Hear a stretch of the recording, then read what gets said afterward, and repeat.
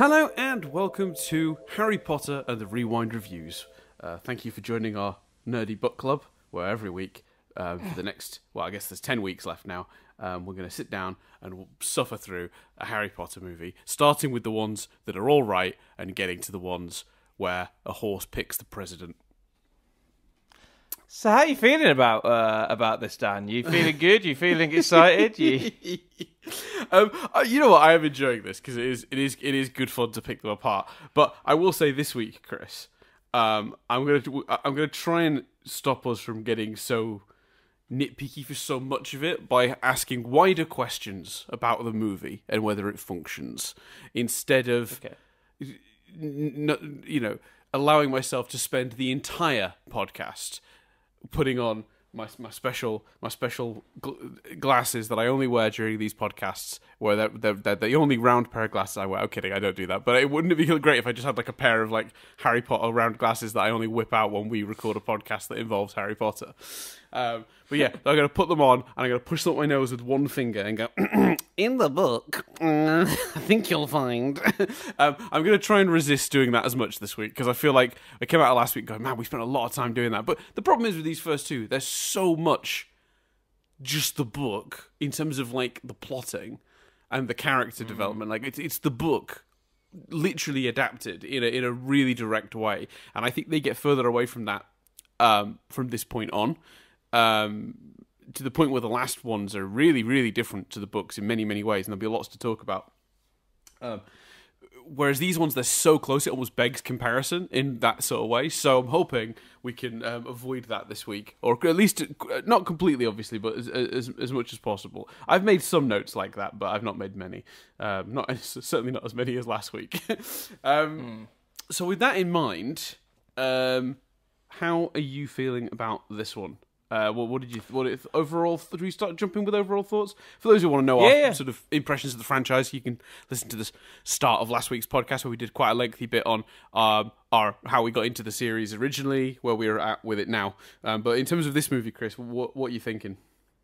I I really enjoyed this movie. Like, and I I I I'll tell you now, like, because after we finished, I was like, because I went into it going, I think I enjoy this one more than a lot of people do, mm-hmm. and then w- watched it and went, yeah, no, I do, I do enjoy this. I do enjoy this movie quite a bit. And then I looked at Harry Potter ranked articles to see if I was right, and most of them put this last. Like, not if they include the Bi- Fantastic Beast movies, but if it's just Harry Potter. A lot of people Really? put this 'Cause- last. Because I Yeah. think I said last week this might be the best one. I, I'm pretty sure I said that last week on the yeah, podcast. no. If you look at if you look at like um, uh, I'll try and pull some up, but like yeah, there was just a bunch. Not Rotten Tomatoes. Rotten Tomatoes doesn't have it last. Um, but i while you talk, I'll I'll pull some up. But the they and a, a big complaint was about it being long and about how the book Yes. isn't that long, so it doesn't need to be that long. But it doesn't even feel that long to me. I think what I really like about this film, uh, in comparison, the first one felt a little bit like this is the mirror sequence and then this is the this is the christmas sequence and then this is the revealing fluffy sequence. Like it just it felt like um a few di- uh, some different moments that kind of came together at the end but came together better if you knew the books. Um Whereas this one, I it just felt more flowing than that. It felt like everything was about the Chamber of Secrets. It felt like it pacing wise, I actually thought it was it was paced quite mm-hmm. well. I have some I have some nitpicks. You know, the the, the last scene has. A, a, a number a number of kind of basically from the point from the point where Lucius Malfoy is about to deliver the killing curse in Hogwarts ground to a child. Yeah, It- yeah. You know, the, the, from that point, from that point, they're just like slow, slow clap when when Hagrid comes in. It, eventually, yeah, why not? Like from that point onwards, it's just all a bit weird and awkward. But before that, Uh, can I tell you I right now? think- Can I tell you right now? Just no, small spoilers. I think that's one of the best changes. I love that moment. I I love that moment best- so much when I watched what it. when the clap or or Lucius Malfoy? Oh, sorry, no, the, yeah, the clap for Hagrid. Sorry, I thought that was Yeah, so like- sweet and so lovely, and it made me go back. I genuinely, Chris, I went to the shelf. uh, it's here. I went to my shelf and I pulled off my copy of uh, Chamber of Secrets, and I found well, the chapter. before, well, And it- before you can I can I Yeah, see if my memory's right then? Because my memory of it is Hagrid's basically there's joyous celebration throughout in the Great Hall that night, and Hagrid's return is more sort of, and yet the place really truly erupted when Hagrid returned, or something like that. Yeah, you're not far off, except for it's it's like one line. It's like it's it's here we go. Uh Harry had been to several Hogwarts feasts, but never one quite like this. Everybody was in their pajamas. Celebrations lasted all night. Harry didn't know whether the best bit was Hermione running towards him, screaming, "You solved it! You solved it!" Justin, hur- hurrying over from the Hufflepuff table to wring his hand and apologise endlessly for suspecting him, or Hagrid turning up at half past three, uh, cuffing Harry and Ron so hard on the shoulders that they were knocked into their plates of trifle. Um, or his and Ron securing several points for Gryffindor in the House Cup. So it's literally that's it. It's that. It's the. It's or Hagrid turning up half past three, hitting Harry and Ron so hard on the on the shoulders that they fall into their trifles. That's it. That's the line. That's all it is. I, I and, and while I understand it's a short book and you're not going to sit there describing every moment of the celebration in, in detail, it's a it's a choice she made when writing that book. I've got to say, seeing all the kids like and their affection for Hagrid, and there's no Hogwarts without you. Without you, Hagrid, Uh, that, that was so sweet, and I and I was really taken aback by it, really surprised by it, and it does show that Columbus really does understand the books. I think, um, because I do think that's how the kids feel about Hagrid. I do think that. I think that most of the the students would have been very pleased to see him back, Oh yeah, yeah, for sure. uh, uh, but it's just not in the book. She doesn't actually just put. She doesn't put that. You know, she doesn't put pen to paper and actually put those words in there. But it's you know it, it it's enough in the text of it that you understood that's what. So it just feels very a very natural extension of what's in the book. This is this, this really good adaptation uh, work there because it is just again it's like a thing that makes perfect sense to the point where I wouldn't be surprised if somebody told me, oh yeah yeah, um, in, and in the book when Hagrid comes back and everyone claps and I'm like ah actually that's just in the film. You'd be surprised like yeah I'd basically, I wouldn't be surprised sorry if somebody genuinely mixed those two things up because it does feel such a natural extension of what's already happening. So I love that moment so much did not care Yeah. for Lucius Malfoy losing his temper to the point of nearly murdering a child on Hogwarts grounds for the for the for the for the mere act of throwing a sock at Dobby uh, or getting That's a sock to. Dobby. It's ridiculous. That's weird. Yeah. I have a, I have a, I have a weird thing with Dobby, which we'll talk about um, after you've given your review thoughts. So uh, yeah, to conclude, I, I, I had a really good time with this film. I actually, like, I don't want to spoil ranking now, but I'd place it higher than the first. It just seems like a smoother ride. Maybe it's because it has less introductory stuff to do.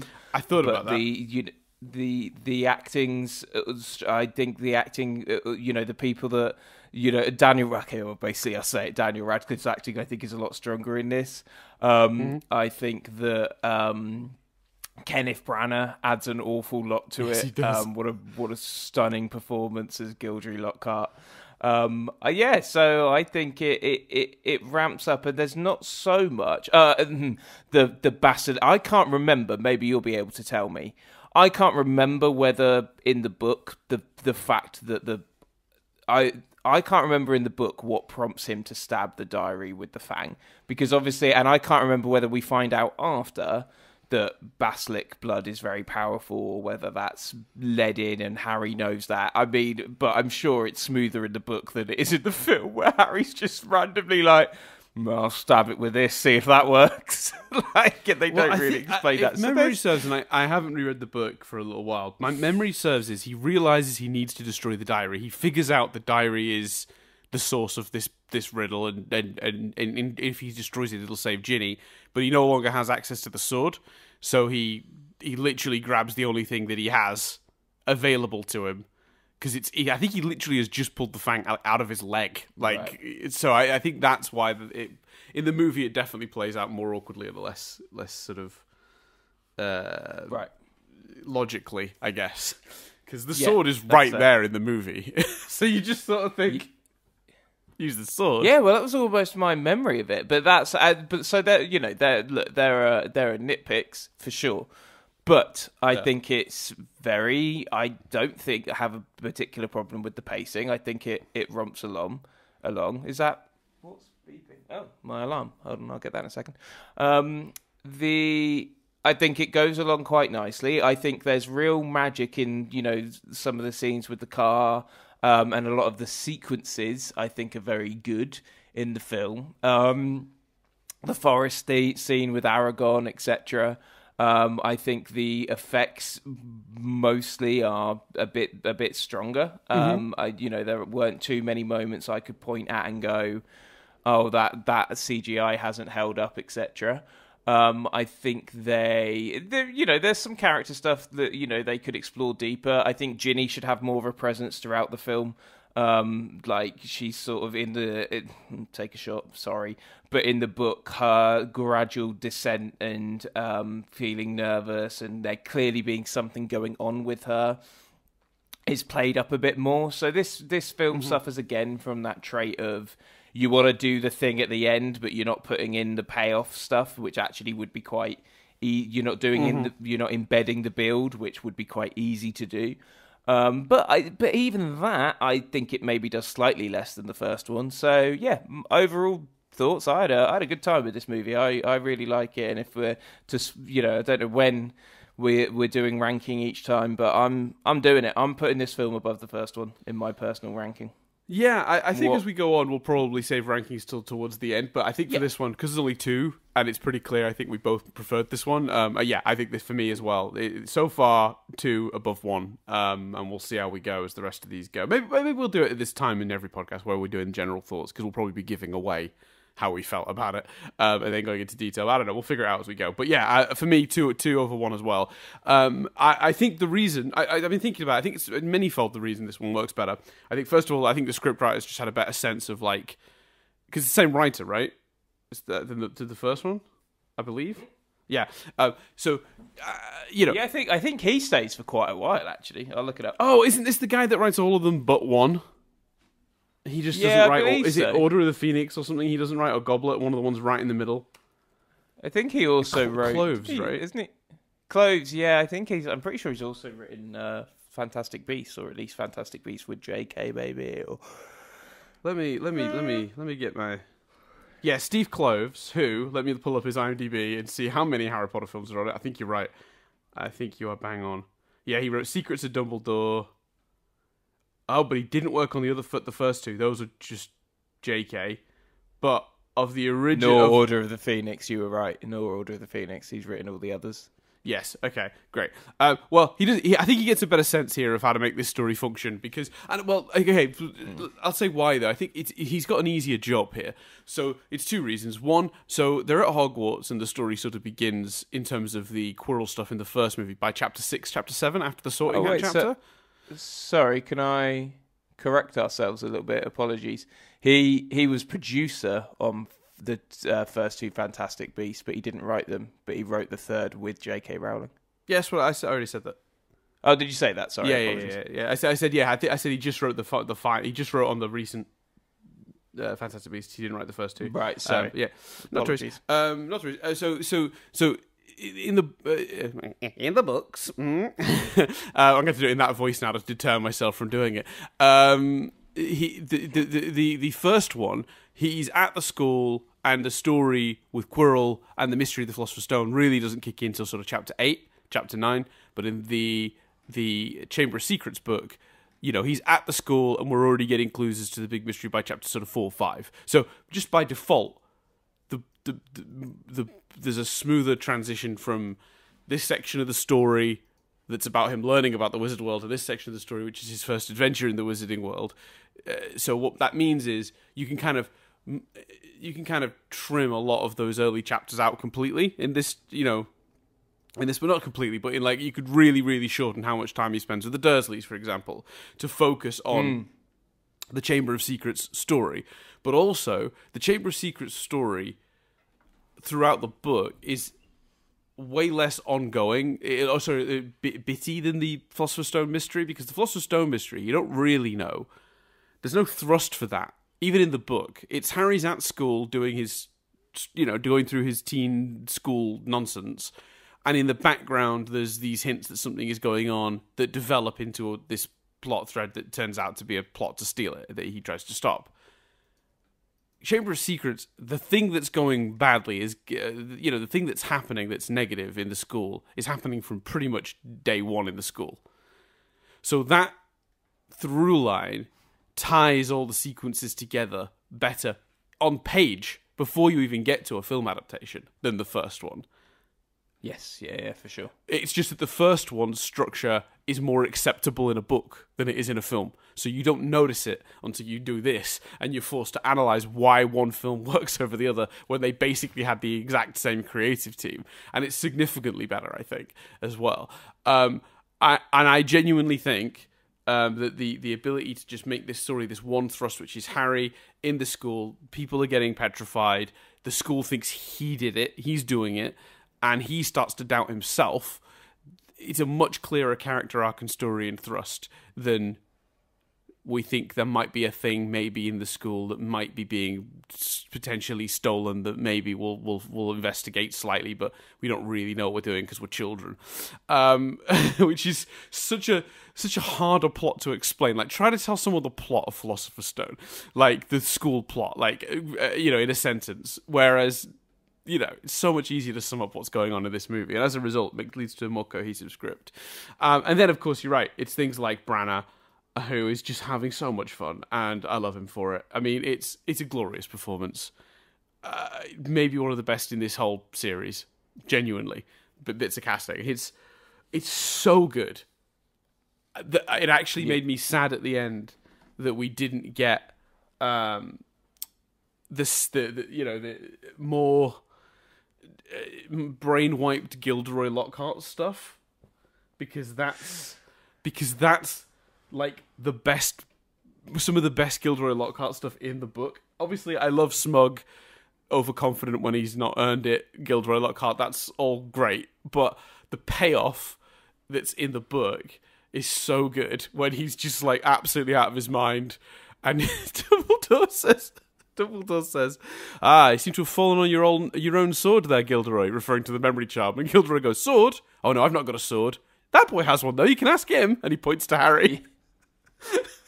It's so yeah, it's good. good. and I and I am a little sad that with the whole movie of him being smug and useless, we don't get. It, it, it's the opposite problem to the Ginny one. We get the payoff, but we didn't really get the build up. With Gilderoy, we get all the build up, but we don't really get a lot of the payoff. We get a tiny bit of it, just a tiny bit, but it's not really what it. I, I can, considering how much of an impactful character he is in this movie, I really would have liked to have seen more of that. Um, I, I add an extra two minutes. Just just do that. Like that's all I need. I don't need a lot, just a little of him at the end. I know there's a post credit scene, but it's nothing. It's uh, it's nothing. It's just. Oh, that was so because you know this was this was back in the day before they did post credit scenes a lot. Yeah, and I remember being so disappointed because everyone was like, "You've got to wait." There's a there's a post credit scene, and you're like, "Oh my god, what that's gonna be?" And then it's just like, yeah, just. It, I mean, like great, it's it's but... it's a tiny gag, and it's fine, I guess. If those don't remember, it's just Gilderoy Lockhart is like clearly like he's he's he's now got a book out called like Who Am I or something, um, and it's just yeah, he just he's he's looking confused and he's in a straight jacket and he's just looking around and his hair's all mussed up and yeah, cool. That's great. um, it's not quite what I was looking for, and it's also not in the main text of the film, so it's hard to, yeah, hard to be too excited for. Uh, it's a real shame that that's the, but otherwise, Gilderoy Lockhart is an absolute, you know, steals this film. But also, as you pointed out, Radcliffe, uh, you know, so much better. I, it's better. weird. Yeah. It's weird though because I still feel like he's a little bit behind everyone else, just every now and then with some line deliveries. But on the whole, he's he's really grown into it a lot. He he's definitely the biggest jump in acting performance, uh, like, uh, like ability between between these films. Like that's it's a huge leap from the first one uh, for him. And they so, shot them, very, and they shot them so close together, like so close together. Um, well, did, right, did Dan, they? Because because uh, my question here, Chris, is why have, they're so much older? They look like what a jump in their phys- physical appearance between movies. I think that's that's that's the age, though, isn't it? But they did because I I remember seeing shots of the like car come out of like filming and set photos like around the time I saw the first movie. Yeah. Well, they shot them very So they close defi- together. They did. Yeah. Um, right, Dan, are you ready for this? Yep, hit me. Right. Empire, Collider, Time, an article on BuzzFeed, Screen Rant, USA Today, and Movie Web all have Chamber of Secrets as the lowest ranked Harry Potter film. So some of them have, if they're doing Wow. Beast, have Beast below them. But in terms of the Harry Potter films, all of those articles have Chamber of Secrets last. They are all wrong because I'm Yeah. also fairly confident as we go into this that I think at least the last couple of these are going to be lower. At, at least. I, my if if I was predicting now, my my memory from the last rewatch was that I didn't particularly enjoy Goblet of Fire, or or didn't think I think Goblet of Fire. My bigger shock was it wasn't as good as I remembered, and uh, Half Blood Prince. I remember just being this dark, hard to see. Muddled mess. So we shall we shall see when we when we uh, yeah, we when we both had there. a lot of problems with the characterization towards the end of the movie and the way that they did certain events played out. I, I remember Yeah. that. But that's but we'll get there when we get there. But yeah, that's that's what weirdly this and and I'm trying to I'll, I'll have another scan. But if it's the length, so let's talk about the length specifically because I the the few I looked at last night I know referenced length. Do you agree with me that actually you think it's paced quite nicely, or do you think it is a bit long? So the statistic is interesting because so let me pull it up because it was in my trivia, but it's it's it's relevant. Um, where is it? Uh, one second. Okay, so this is based on the second shortest book, but it is the longest movie of the franchise. Ironically, That's- Order of the Phoenix, which is the the, the longest book, is the second shortest of the movies. That's quite think- funny. But you, Um, and I know we, I know we're doing a lot of comparing to you know the other films in this in this series, but you can't. Sure, but that's irre- that the fact that it's the longest film is is irrelevant to whether that's a criticism of the film. You can only No, no. criticize whether it's too long. no, no, agreed. And I think the thing, No, know. I'm not. I'm not. I'm arguing with other people, not you. Yeah, yeah, no, and I, and I and I agree with that point. I think you're right. I think that I think the thing is, pacing and length are not the same thing, and there is a lot of like, I do think someone looks at a film and goes, okay, it's two hours and you know forty odd minutes. My version was actually two hours and fifty odd minutes because it turns out I acquired some sort of extended edition because um, when I started going through the trivia, they were like, they cut out this scene, and I'm like, but that scene was in the movie, and it turns out it wasn't in the original movie. I saw an extended version. Um, so sorry. If, oh, actually, I should I should clarify this. If I reference a scene, Chris, that you didn't see, um, do let me know because it might be that I saw it because it's in this extended cut. It's apparently Oh, it's about ten minutes longer. I had no idea. Yeah, nice. I had no idea this existed. That's just the version I had. I don't know. Um, I didn't know they'd done It's take- extended cuts of the Harry Potter movies, but like, so the, the version you watched does Harry go to Borgin and Burke's at all? Yeah, the bookshop. No, no, Borgin and Burke's in Diagon Alley. Not Diagon Alley, sorry, Knockturn Alley. Yeah, he that's where he lands after the Floo powder, and he looks around. He gets hands. He gets his hand caught in a hand, and all that stuff. And does Lucius and Draco both come in and they have a conversation with No, Borgin? Lu- no, Lucius didn't come in and have a conversation with Borgin. So that yeah, I ha- I have some weird extended cut where like you know Lucius comes in and he's he's got a bunch of stuff that he's selling because of the raids because that's well we'll come to that. There's a, there's a, there's a weird plot thread that's set up but not paid off and I don't know why. But oh no, I guess because it isn't set up because ah, this is what's frustrating. So there are two plot threads that I was getting annoyed weren't being paid off, and it's because I've got this extended cut where they've added in scenes that aren't there in the cut you will have seen. So there's a setup for the premise of the reason Lucius.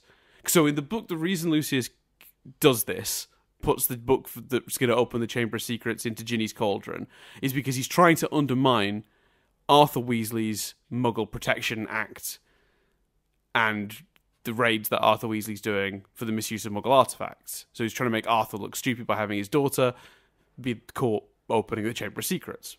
He's- So he's trying to smear Arthur. That's the point.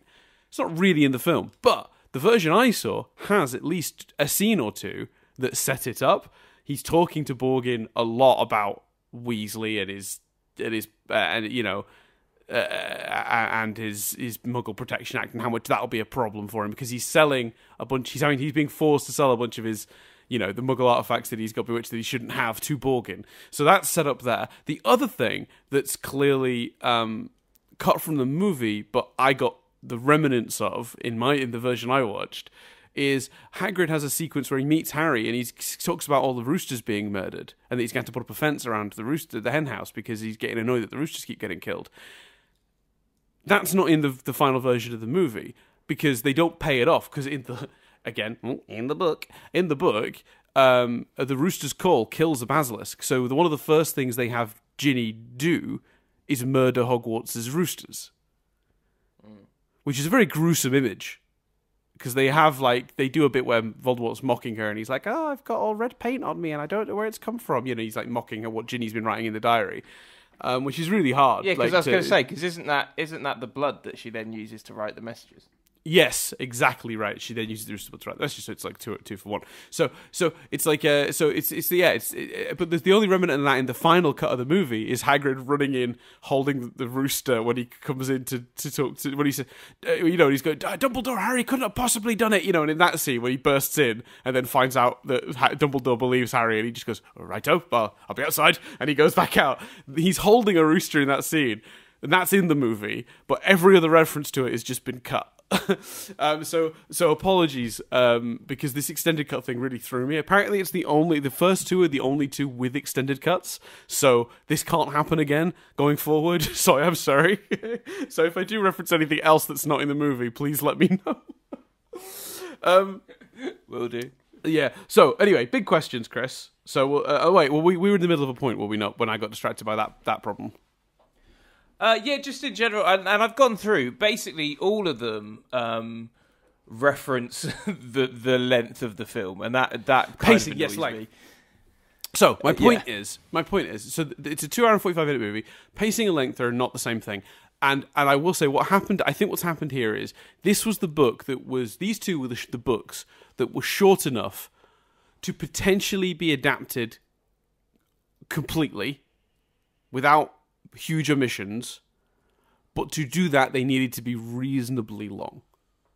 Once you get to the next books that get longer, it becomes entirely impossible to do the complete book. So then you have to make cuts anyway. So then you might as well start really, you know, taking a knife to it. And that becomes the thing going forward, you know, um, mm. with all these movies. And that's fine. That's understandable. That's what happens with adaptations, especially once you get to sort of like Goblet and Order, which really do balloon in size. Um, so, but I so they, they had the opportunity here to pretty much get the entire book on film in two hours, well, two hours forty minutes, whatever it is. Um, and but because it's the whole book, very much, no, pretty much nothing omitted except for the, you know, some, uh, you know, they really shortened the first couple of chapters with him and the Dursleys. You you actually get a film that's really well paced because it's not. Mm moving too fast, it's not moving too slow. The story is developing at the rate it was designed to develop and the book side. And it never feels jarring, it never feels like it's jumping around. You get the sense of time passing in the school without it feeling like we're cutting through the year like in the first one. But the story is developing at a really nice pace. So, in terms of the pacing issues, I, I I don't care that it's the longest one. At no point is it boring. At no point did it feel overlong. At no point was I checking my watch it just played through. If if you'd have made me watch this movie without me being able to check the length, like if I couldn't, you know, pause it and see the timer that says how long is left in the movie, then I probably wouldn't have guessed it was as long as this because I think it works really yeah, well. I'd have probably agree. said just over two hours. You know, I wouldn't have guessed two hours 40, 40 odd minutes, or in my case, two, two hours 40, 50 odd minutes. But, um, you know, it's, it's really not a problem in any way, shape, or form. So I find it very strange so many of them have because I think length is an issue if you're really padding it out. You've not got enough stuff to get to, so your movie is just constantly like got lots of scenes that don't need to be there, that are repeating points that have been made by other scenes. But this movie isn't doing any of that. Mm. It's not rushing through anything. It's not going everything too slowly. It's this is a perfectly paced film. I I, I don't understand that criticism. It's it, it, it's not it's not reflective of my experience watching it. That's for sure. One, uh, the, one of the only other criticisms I saw flicking through these these ranked articles is that Dobby's unlikable. Um, I, I have a really interesting thing with Dobby in that in my head when I read the books. You know, sometimes if someone does a great, I can't remember who it is, but someone has a great stand-up routine. Maybe it's Michael McIntyre about how when the films came out, everyone realised that Hermione wasn't called Hermione. Hermione. like, and he's like, he's like, Hermione's name is a name that when everyone read the books, they just gave up trying to work out how to say it. so they just went Hermione. like every time her name was there, Ron, Harry, and Hermione. Like he does this quite good routine about it. But with, but you know, sometimes you you miss a description or you miss a word, and you picture something completely different to how it actually is. Right. I pictured I never pictured Dobby thin. In my head, Dobby Dobby was essentially most comparable in my head to a larger version of the of the aliens in the spacesuits in the Toy Story franchise. you know, the toys from the grabber machine. Like basically Dobby was a, a slightly bigger, maybe slightly more green, maybe a little bit thinner than that, but cer- but not not thin. Dobby was just a little thing bouncing around, like this little alien like thing. I don't know why. I think I I've do always found why. because I've just pulled up the description. The the the, the little creature on the bed, so it is said little, giving that but indicating height. I feel had Yeah. large bat-like ears and bulging green eyes the size of tennis balls. Yeah. So the, the the large bat-like ears immediately conjures a large image, I think, and then the size of the eyes is pointed out. Doesn't Yeah. describe him as being scrawny. Yeah, so I so that threw me when I saw the film, the promo material, and I'll be honest with you, every time Dobby's appeared on screen, I'm like, that's not that's not uh, Dobby in my head. Um, so that, but that's obviously incredibly personal. Um, do you? But I I do find it hard to analyze Dobby and get past it, which is wrong, but it's true. right. Do you? How do you feel about Dobby, Dan? Do you think Dobby's annoying? What? Yeah, because I think the the I think he's the to be, multiple right? appearances. Yeah, exactly. And I think that you're meant to feel in the book. It's just, oh fucking hell. We really, Jesus. In in the book, we you you are. I remember being so frustrated with, with Dobby and so irritated with Dobby. And you know, a bit of that comes across here. Uh, Like I, I just remember being like, "Leave him alone!" Like when, when reading that book. So you you kind of want to feel irritated by Dobby. yeah, Um, because I think I, think because look, it, it just just basing it on what's in the film itself. Harry is irritated with Dobby. At first, Harry Hmm. is respectful and nice to Dobby, but Dobby gets him a bunch of trouble at home. Then Dobby's attempts to quote unquote save his life get more extreme and put him in more and more danger. The Whomping Willow nearly kills him. The Bludger nearly bloody kills him. It ends up taking out his arm and he has to have his bones are regrown. Like this is all Dobby's fault. You're supposed to not like Dobby. That's that's the story. That's the point. Like he, he's supposed to be this, you know, well-intentioned but ultimately very inept in terms of his plans are insane. you know, he's just not hmm. thinking straight. Sort of like character that you're supposed to by the end of the movie when you realize what his situation is, you're supposed to suddenly feel sorry for this creature you've been irritated by the whole time. That's the point, right? That's the movie. Like, for, forgetting the, you know, glasses up nose in the book bit, the movie presents it that way. I, don't- I, I don't know how anyone that wouldn't get that. I think it's really clear. Harry tries to be nice and friendly to him when he first meets him, but Dobby becomes very irritating very quickly, uh, gets him in a bunch of trouble, nearly gets him killed. Um, again, good intentioned, but you start to feel sorry. They have a hint of why you feel sorry for him when he shows up in the hospital wing at the end when he talks about ironing his hands, and even Harry softens to him at that moment. You know, realizing what he's going through, and then you get the end of the movie when you realize how bad it must be for him, and that he's been trying to help this whole time, and he's living with the Malfoys. That moment of Harry and the so is triumphant, and it's triumphant in spite of you know Do- Dobby's presence in the in the rest of the film being deliberately sort of uh, causing more problems for the main character than not. Basically, Yeah, I do- I, I think I that's like, that's that's the story. I don't understand why that would be a criticism. It's it's a good story. It's it's so much. I'm I'm so sorry, guys, because especially when Dan first said this, I was a little cocky and was like, in my head, I didn't say it out loud because I'm pretty sure I'm wrong, but I had this little cocky moment of. I, th- I think Dan was worse for that sort of in the book thing last time, and now I'm doing it quite a lot this time. But I do prefer the way that the sock thing is done in the book, like the notion that Harry has the time shoves the diary into the sock and Lucius just throws it's much I think it's much more in the in the like in the film he gives him a book with a sock in like whereas in the book he gives him a sock like inadvertently accidentally but I think that's done a lot smoother and better in the in the book Yeah, I'm okay with either. I, I get, I, I understand the criticism because, like, yeah, it's, it's, the, the, the, he has to be gifted clothes. Um, and for those who aren't clear on the difference, specifically, I believe in the book, um, he gives Lucius the the sock is in the book. Lucius sees it, pulls it out, and ugh, it's gross. Gets covered in mud and stuff from the chamber, and he sort of tosses it at Dobby, and then is like they're talking about the book, and Dobby has been directly given a sock. Whereas in the film, the choice they made was that I guess they they might have decided it was slightly unbelievable that he would open the book to see the sock. Because why does he open the book in the in the in the in the in the in the, in the book? Um, see the sock and then give it. So instead, they just had him No, hand the book off like casually. I think in the book the diary is put in the sock I think he has to take the sock off to get the diary out of it I think Do you think is that what he does? Shall I shall I find it? That's if that's true. That's diff- that is different to even how I envisioned it. Let's see. Yeah, I I'm think he pulling it up. shoves the diary in the I think I think and that's I think why he has to take the next time off. we do one of these, Chris, I'm gonna I'm gonna stop myself from having the book at, in arm's reach because we'll just keep doing this otherwise. and Yeah. this will take forever.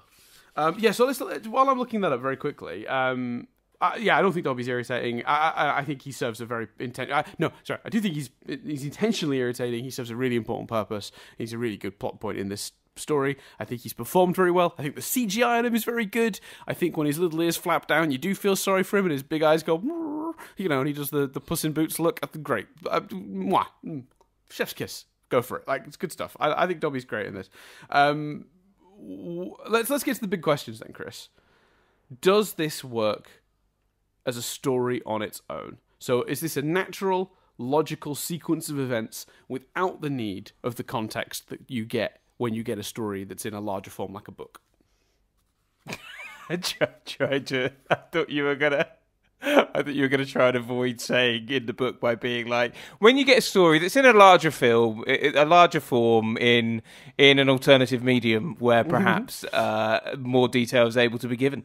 Um, well- if you were going to read this, yeah, um, yes, I I think someone with no context from any other sources um, could follow the story and understand the beats well. Are there nuances that the films had to take out that adds texture and context to that? Yes. Are there nuances that the film has taken out that I think shouldn't have been taken out? Yes, i.e., the Ginny of it all, like Ginny, um, Ginny slowly getting obsessed um, and clearly being wrong. The whole kind of Ginny, Ginny and Percy have something going on, uh, which is you know as simple as him kissing someone. Um, Yeah, yeah. So yeah, the- he had a he had a secret girlfriend who hap- was in who was in Slytherin, no Ravenclaw, right? Penelope Clearwater. She's like a Ravenclaw, Yeah. which is why he was sneaking around because there's they still there's a remnant of that in this movie when Percy comes across Malfoy, Crabbe, and Goyle. They're like, "What are you doing down here?" you know, and the and the reason is he's down there to see his girlfriend, but that's that's gone. But yeah, Oh yeah, I hadn't, I hadn't spotted that. That's a good point. Mm-hmm. The um, the and Clearwater th- is a one second. Maybe she is a Slytherin. Is that not maybe part of it? Uh, carry on anyway. I'm gonna I look that don't know. I can't remember. The Sorry if you can hear that beeping. I basically before we started recording, my cat my cat was meowing and meowing meowing to get out the window, but he doesn't like to go out the window necessarily. He likes to just sit on the ledge of the window while it's open with the breeze and the ability to chase any birds that land nearby. And I knew opening the window was a risk, and a truck just backed up, and there was lots of beeping. So I'm sorry if you could hear that. Carry on. At least you've got the option. I opened the window before we recorded the last one, and I was like, "Have we got a pipe leaking?" And next door, I've got a water feature, which looks lovely, but it's just on. like, and I was like, "Oh, guess I'll be shutting the window then. um, but yeah, fair play. Um, them, she's she's a, she's a Ra- she's a Ravenclaw. So Okay, cool. What what what about the diary? oh sorry yes I've got that up. Uh, you're exactly right. Uh, Harry grabbed the diary, dashed out the office. Blah blah blah. He could hear Dobby squeals of pain. He took off one of his shoes, pulled off his slimy, filthy sock, stuffed the diary into it, ran down the dark Yeah. corridor. Mr. Malfoy gasped, gasped uh, to a halt. I've got something for you. He forced the smelly sock into Lucius Malfoy's hand. Uh, what the Malfoy ripped off the sock uh, from the diary, threw it aside, and then looked furiously at the ruined from the ruined book to Harry. And that's when we get that "You'll meet the same sticky end as your parents one of these days, Potter." He said softly. Oh, he said softly, so not with Potter as a delivery. Um, so there you go. That concludes this also- instance of in the book. Boom. Yeah, no, and I, and I think that's cleaner. I prefer that. Um, it's not. It's a nitpick. Like you know, it's not. It's Yeah. not. You know, breaking the movie. Um, but yeah. So back to the the chamber thing. So I think I think there is absolutely enough detail here to follow, understand, and get it. I think there are some bits like the Ginny stuff that have been missed, and and like the Hagrid stuff. I think in in other texts I've experienced this story in the the Jesus it's Christ. never it's never it's never um this film kind of the film kind of plays it as oh Hagrid might be the bad guy. Whereas whereas in other texts it's a bit more well no it can't be Hagrid. Something's going on here surely. Um and it's a bit clearer when we meet Aragog that like that's the creature and and all of that sort of stuff. So I think there's details missed, but those details missed don't mean that someone with no other knowledge of the story wouldn't be able to follow the film. I, I honestly, I, I think it's fine that um that that they try to play it off as maybe Hagrid did it last time. You know, they get that information. It could be that they certainly want to. Because the thing is, you know, we've we've established Hagrid likes creatures, so it's it, it's not even that they're thinking he did it with the intention of hurting anyone. They're thinking he might have done it because he likes monstrous creatures and it all got a bit out of hand. You know, no one's thinking Hagrid was opening the chamber maliciously, even in this. But the assumption is that Hagrid might have done it last time. The creature could he be involved again this time, or at least know more about it? You know, um, so yeah, I think that's, how they fair. play it, and, and I- and I think that's I think that's fine. I think that works. I think it works for what we already know about Harry. They did include Norbert in the last movie, although I still think they shouldn't have. Um, uh, you know, uh, so we've got the situation where that, that works for the character and what we know about him already. Um, uh, and I think going into the woods and meeting Aragog is one of the one of the most fun sort of action sequences in the movie. There's a couple that this is that's one of the better ones. Um, and I think you know structurally speaking, the going in there to try and get information and discovering that Hagrid had a separate creature and he was essentially framed is a reasonably good twist at that stage of the movie. You know, the thing we thought Hagrid had done was actually nothing to do with it. It was he was a victim of something else, and then it all sort of comes together. I think at the end when we reveal that Riddle was actually the one opening the chamber and he used Hagrid as a sort of scapegoat.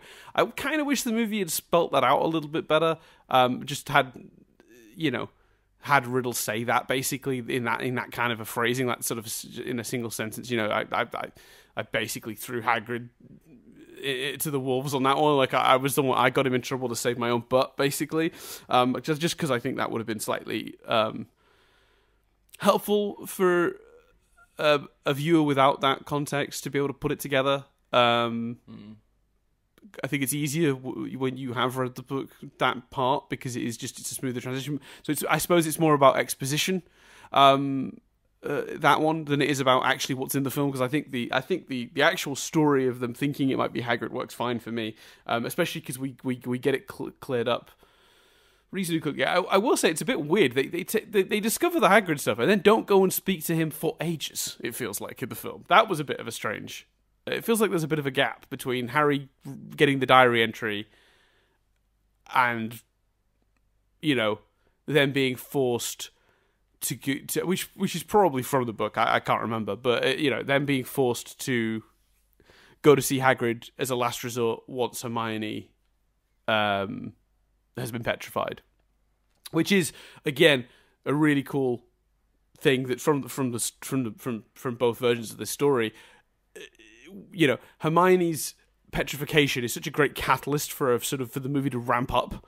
Um, which is funny because you think Yes, that yeah. all the other kids getting petrified would be would, be enough, but one of them's Colin Creevey and Harry hates him. So I think I think on balance, He that's that's an ex- you could you could take out that character. I know it's a bit of a fan. He's a bit of a fan favorite, and well, I suppose he gets petrified actually, doesn't he? So you, you couldn't do that. Yeah, forget that.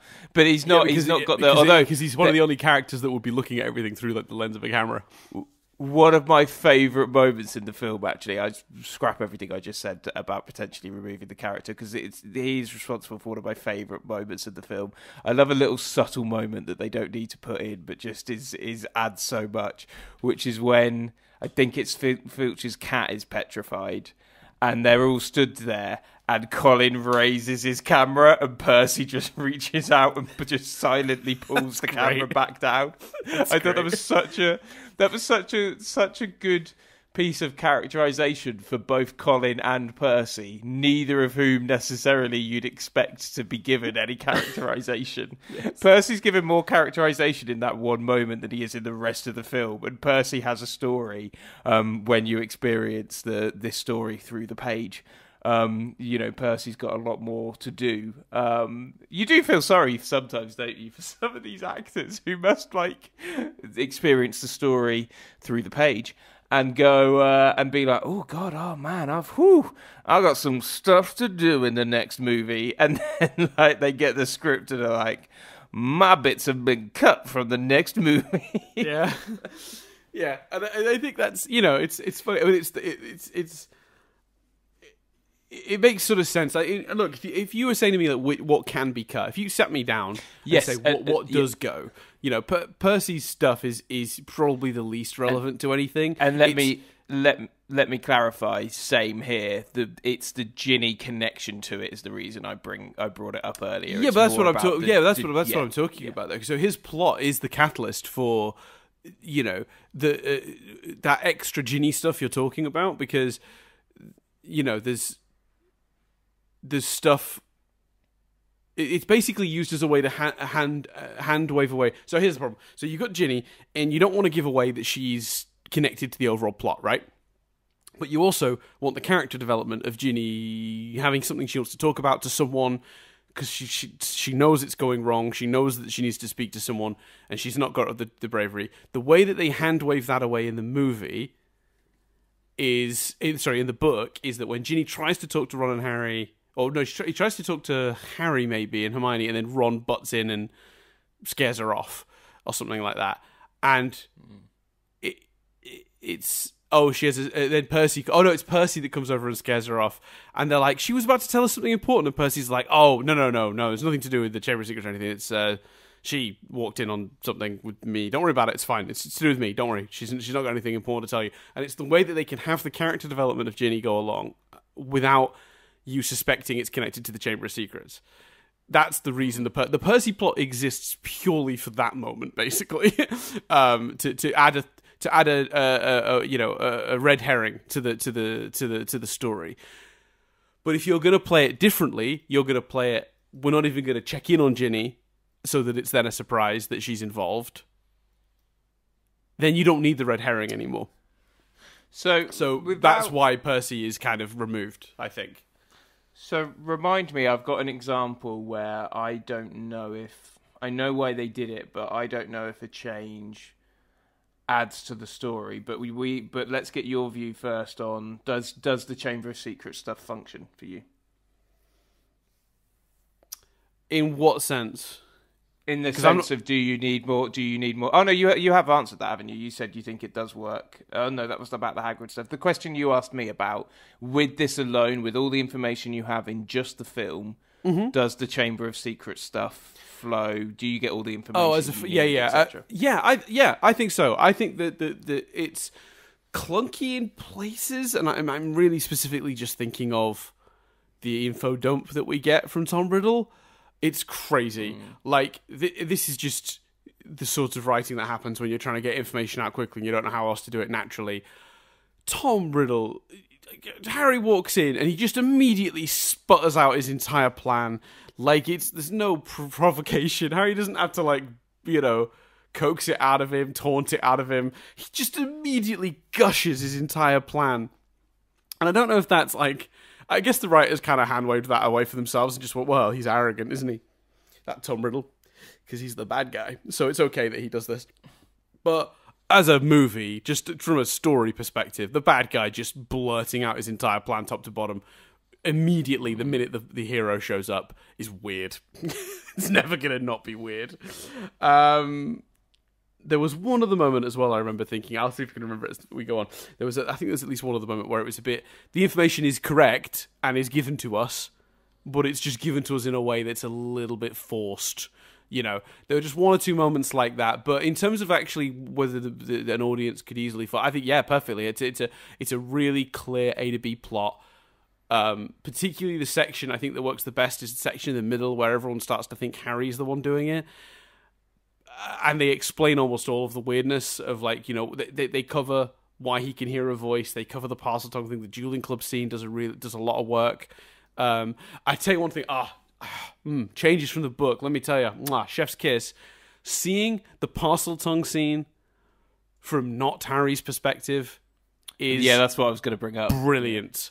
Mm, because it, it makes it so much more frightening and just makes narrative sense because you know whilst whilst when you experience the original version of the script in a 251 page story format you everything is from I'm really Everything is- enjoying you trying to find other ways to say the sentence in the book. It's so good. doing that um in the war joke in the last episode of Only Fools and Horses where he's like if you say during the war one more time and he's like during the 1941 to 1940 that thing um but yeah in in in that original version of the script which comes in a 251 page format um where it's written as prose the every everything is from Harry's perspective. You have Yes. a you you you you know it's not it's not it's not told in the first person. But one of the most impressive things about the the series is other than occasionally the first couple of chapters later on. We are, and even then, often we it's a dream of Harry's or something like that. Um, I think the the whole um, unforgivable bound, unbreakable, unbreakable bound thing, Unbreakable um, vow. From, yeah, I think only that from Half Blood Prince is like truly, completely disconnected from Harry's narrative. Um, it, Well, you know, I think, because toward- you've I got, think towards the end of the series, she does a couple of like you know opening chapters that aren't from Harry's perspective. I think. So I- it's- Yeah, but, uh, well, yeah, So no, she she, does, takes yeah. advantage at the start of every book, following. yeah, like she, there's or one where he talks to the prime minister, where he has a chat with the prime minister, Yes. maybe in Order of the Phoenix, and uh, yeah. So the I think yeah, I think I I think it is Order of the. Oh no, it's not Order of the Phoenix. That's which book immediately follows Order of the Phoenix. Half Blood Prince. But Half Blood Prince, does Half Blood Prince have a bunch then? Because Half Blood Prince must be the unbreakable vow thing. Yeah, it might well. be because because the, the the opening scene where Fudge is coming in talking to the, the, the sorry the quote unquote other minister. That's right after he's had to accept that Voldemort has returned. Oh, yeah, you're right. Yeah. So That must be that, so that's as well. that and that happens at the end of Phoenix. So yeah, you're right. They, they must they, maybe they front loaded Phoenix with a couple of them, but there's also one Sorry, from uh, the Deathly Prince. Hallows as well, where they're at Spinner's End. Uh, uh, Yeah. the, the, you know, Snape's old house where they're having a meeting about when Harry's being moved.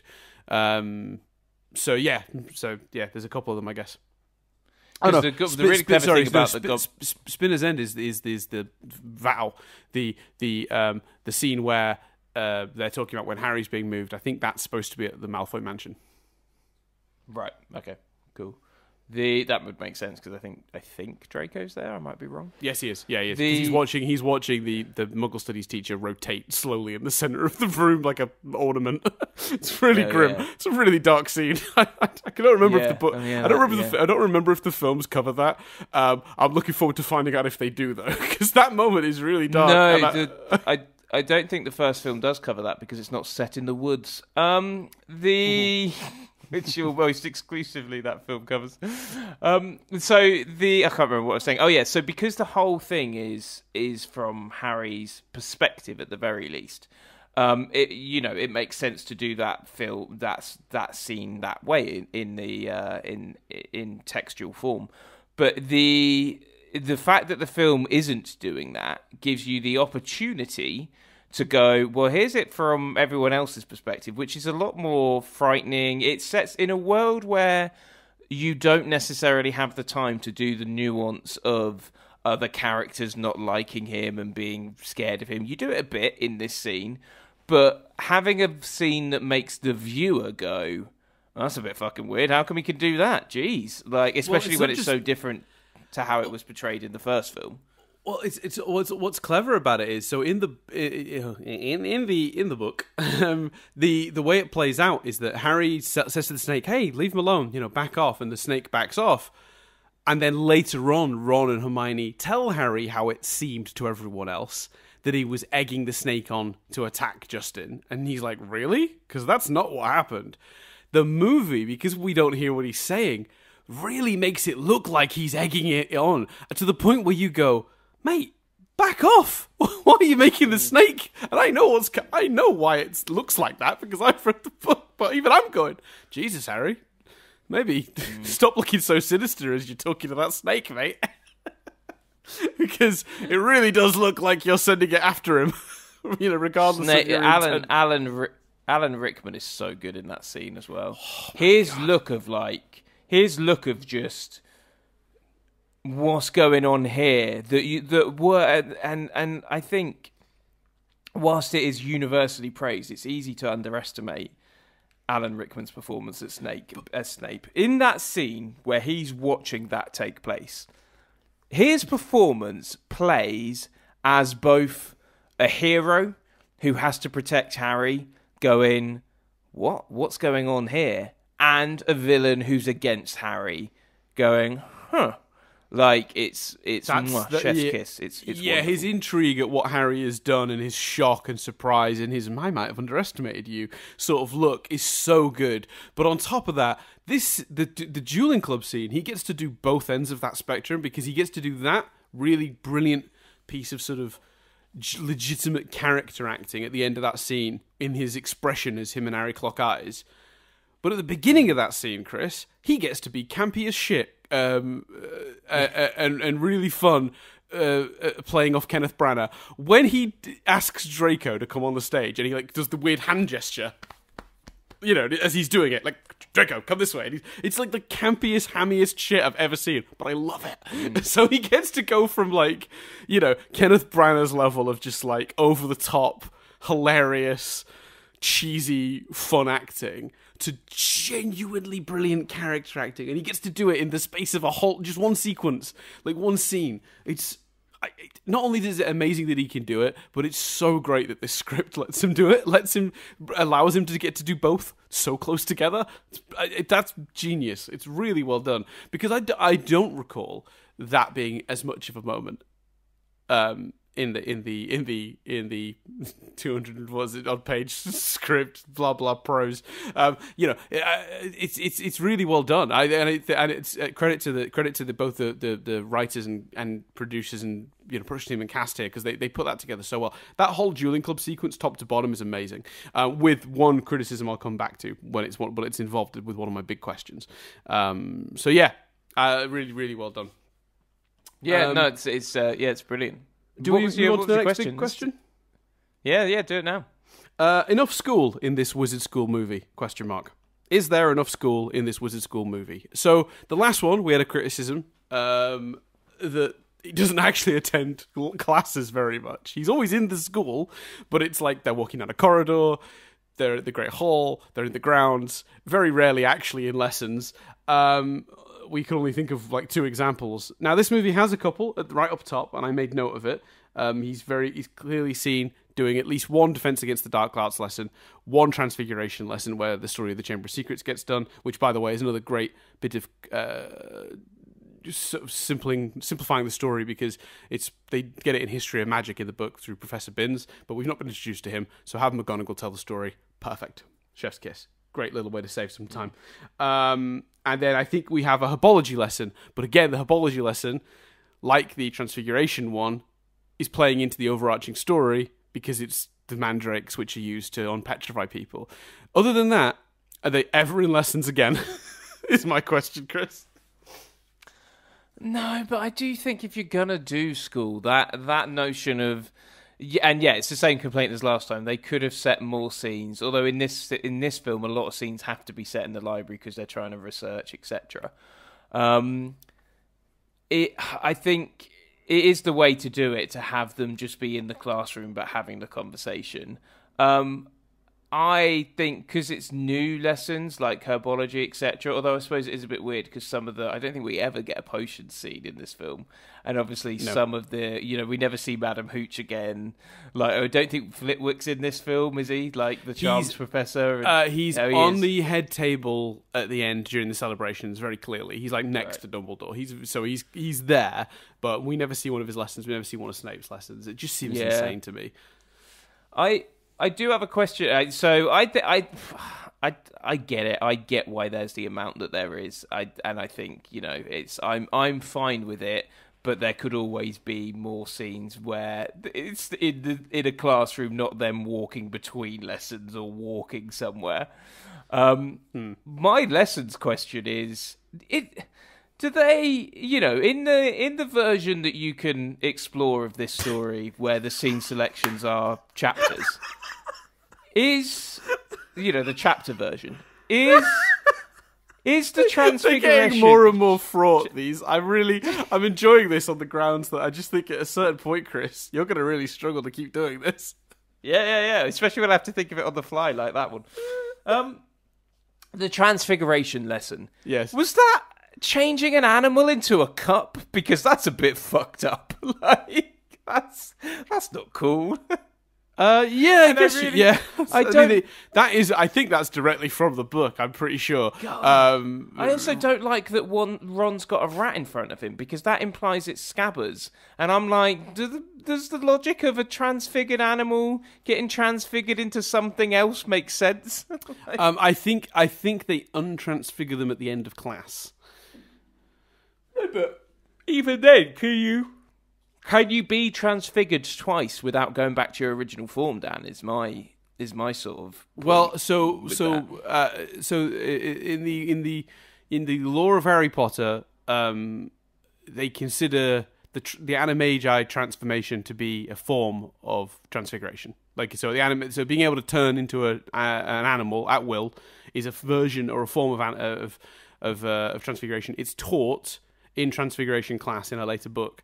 So to get a bit technical on you, to be to have your physical body changed. One, I don't think those spells last forever by default. I don't think transfiguring is a permanent change.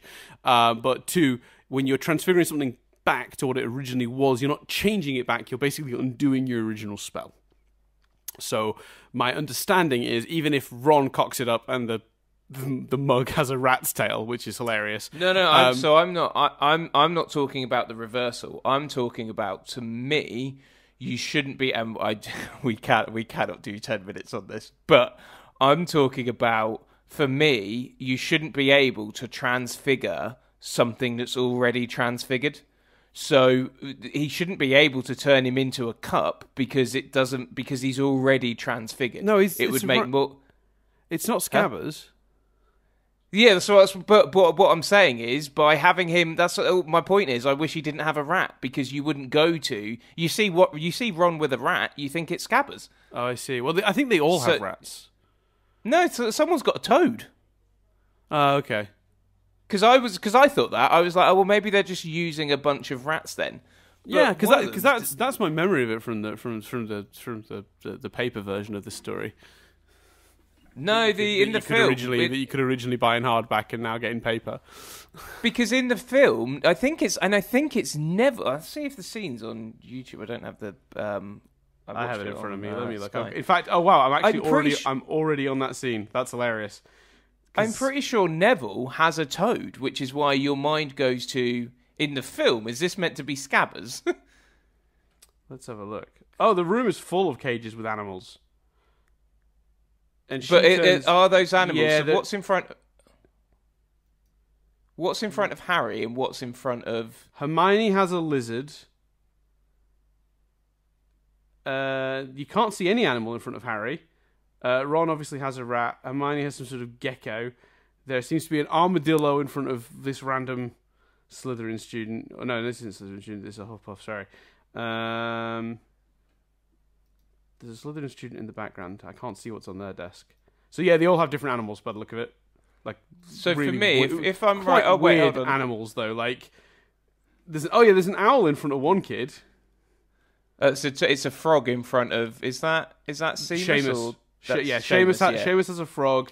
Uh, Right, so- Yeah. So it's yeah, it's, it's, it's, So it just I- seems to be random. And if you look around the room, obviously the room is surrounded by cages that are full of animals as well. So it, it, I think it's you know, it's just Yeah, it's animal, not as bad animal now. of, My- sort into cup. in my memory, Neville had the frog, and if Neville had the frog, I don't think I don't think Ron should have a rat because it implies they're using their pets. But it's not Neville with the frog; it's Seamus, so uh, Seamus. So yeah, no, it's uh, it's not as, as much of an issue as I uh, as I thought. Dan. But I see what you're saying. If it is if it is scabbers, you shouldn't be able to sort of transfigure, double transfigure a thing. I see what you're saying. I Mm. and it is still cruel as well. Like it is a bit fucked. like Yeah. okay. But I mean, but to be fair, to be- to be fair, I mean that's inherited. It's a bit fucked. Is kind of like Hogwarts' secret motto, isn't it? Like Hogwarts is like this really messed up place where lots of really bizarre and cruel things happen on a daily basis. Like. Like Yeah. you know, in one of the later books, a kid gets shoved into a vanishing cabinet and is literally gone for like months and months, and like everyone's just like, "Yeah, Well, that kid kind of disappeared or whatever." Like maybe we should look for him. Like it's just kind of uh, part and parcel of living at Hogwarts, you know. Here's one from this that's that's present in the film. Are they not calling the parents of uh, Colin Creevey and Hermione Granger? Like, are they go? Because you kind of go either. There's two versions of that. Either Dumbledore and the team have gone. It's all right. We, we've got the we've got the antidote coming up. Let's just leave it. And if they're not writing, then oh, it's fine. Let's just let's just leave it for a bit. Or they phoned their parents and gone, your child's essentially in a in a in a coma, um, and their parents have gone. Oh, is there is there someone else there like holding their hand and shit? Yeah, there is. Ah, fine. Like you know, let us know. Let us know when she's awake. Like or he's awake. Like I thought about. I've been thinking about that, but it's long term, isn't it? So when Colin Creevey's first brought in, he's just been arrived, so there's no his parents wouldn't be there yet. That makes sense. My assumption is his parents showed up at a later point and were there and spoke to Dumbledore because I'm pretty sure there's a fair amount of time is shown to have passed. And the same, I think the same goes for Hermione, right? Like, you know, she's petrified one day. A certain amount of time goes by. You might assume her parents have, have come by because I know that in the in the uh, uh, in the in the book, the Weasleys are, are brought in when Ginny goes missing because I know Molly and Arthur appear at the school. Yeah, although there is obviously the question of whether whether they would be able to see the school. I assume if they were taken to the school, it would be fine. But Oh, for the for the for yes, well, yeah, I, they'd had to be brought, wouldn't they? That which which might be why it doesn't happen immediately. Uh, you know, I think you can explain that away. I think that's that's a that's a that's a you can fansplain that away in a way that's like makes sense. I because so much time is passing around these things. Uh, you just it's, just- it's the same reason you never see a character go to the toilet. It's off screen. It's happening between the scenes. Don't worry about it. Like it's one of the for me, it's one of those. My I would be. I, I would be mortified to think either of those options that Dumbledore was just like, ah, fuck it, let's not tell him, or he told him and was like, yeah, but you can't come and see him, though. either one of those doesn't sit right Well- with me. So. and also equally like a film where like film where like Dumbledore and Dumbledore and Snape are walking down the corridor with urgency to go to the chamber to go to the hospital, and then uh, and then Dumbledore turns to Snape and says. Oh, excuse, excuse me, Severus. I'm just going for a piss. Like, I'm, I'm bursting. Would immediately become the greatest Harry Potter film ever made. Yeah. Yeah. 100%. Um, uh, so, here's a here's a little uh, here's a little uh, little a little tidbit, a little random thought, Dan, for the sake of putting it here. Another moment in this movie I love, and I'll, I'll lead it to a question, so I'm uh, it makes sense. Um, I love the diagonally. what did he say? Hmm, diagonally. Like I thought that was so funny. It's made me laugh every time. Um, I thought that was really good. Which brings me to my question, Dan. I feel like tonally this movie's you know the same as the as the as the first in terms of that magic tone. I feel like the first was maybe a little funnier. I think it had more gags, um, more deliberate gags. Maybe. What What are your thoughts on the humour used mm. in this film? So, to, I, to, to, it broke up slightly when you were speaking. You think this one has more humour than the first? Yes. No, I think the fir- I think this isn't as funny as the. I think the first has more humor. I think the I think the tone is the same, the lightness is the same, but joke really? for joke, I feel like there's more deliberate jokes in the first film. Oh, I disagree. I mean, all the That's... stuff with Errol, um, Malfoy with mm. Crabbe and Goyle. I didn't know you could read. Um, which, by the way, is a is an ad lib. Apparently, um, apparently he forgot his actual line and just said that instead. it's amazing. Um, you know that that Ron and Hermione handshake, which we'll come back to. Um, mm. You know uh, the, the uh, well, we we're you know Neville fainting in herbology, although that bothers me because Neville's supposed to be good at herbology, but that's just uh, yeah, in the book uh, moment. So we'll we'll ignore that one because I think it works fine in this in this story. Um, yeah, that's an interesting thought, but I don't know. I, I, I mean, there's a lot of pretty deliberate humor in this. I mean, I mean, it is a darker film, I guess. There is a lot more serious think, stuff happening. I think what, what so, it is, so, is I don't maybe... know. What, what, do you think? The, where, I guess uh, losing the Dursleys, I guess, is a big loss of humor. Maybe that's part of it.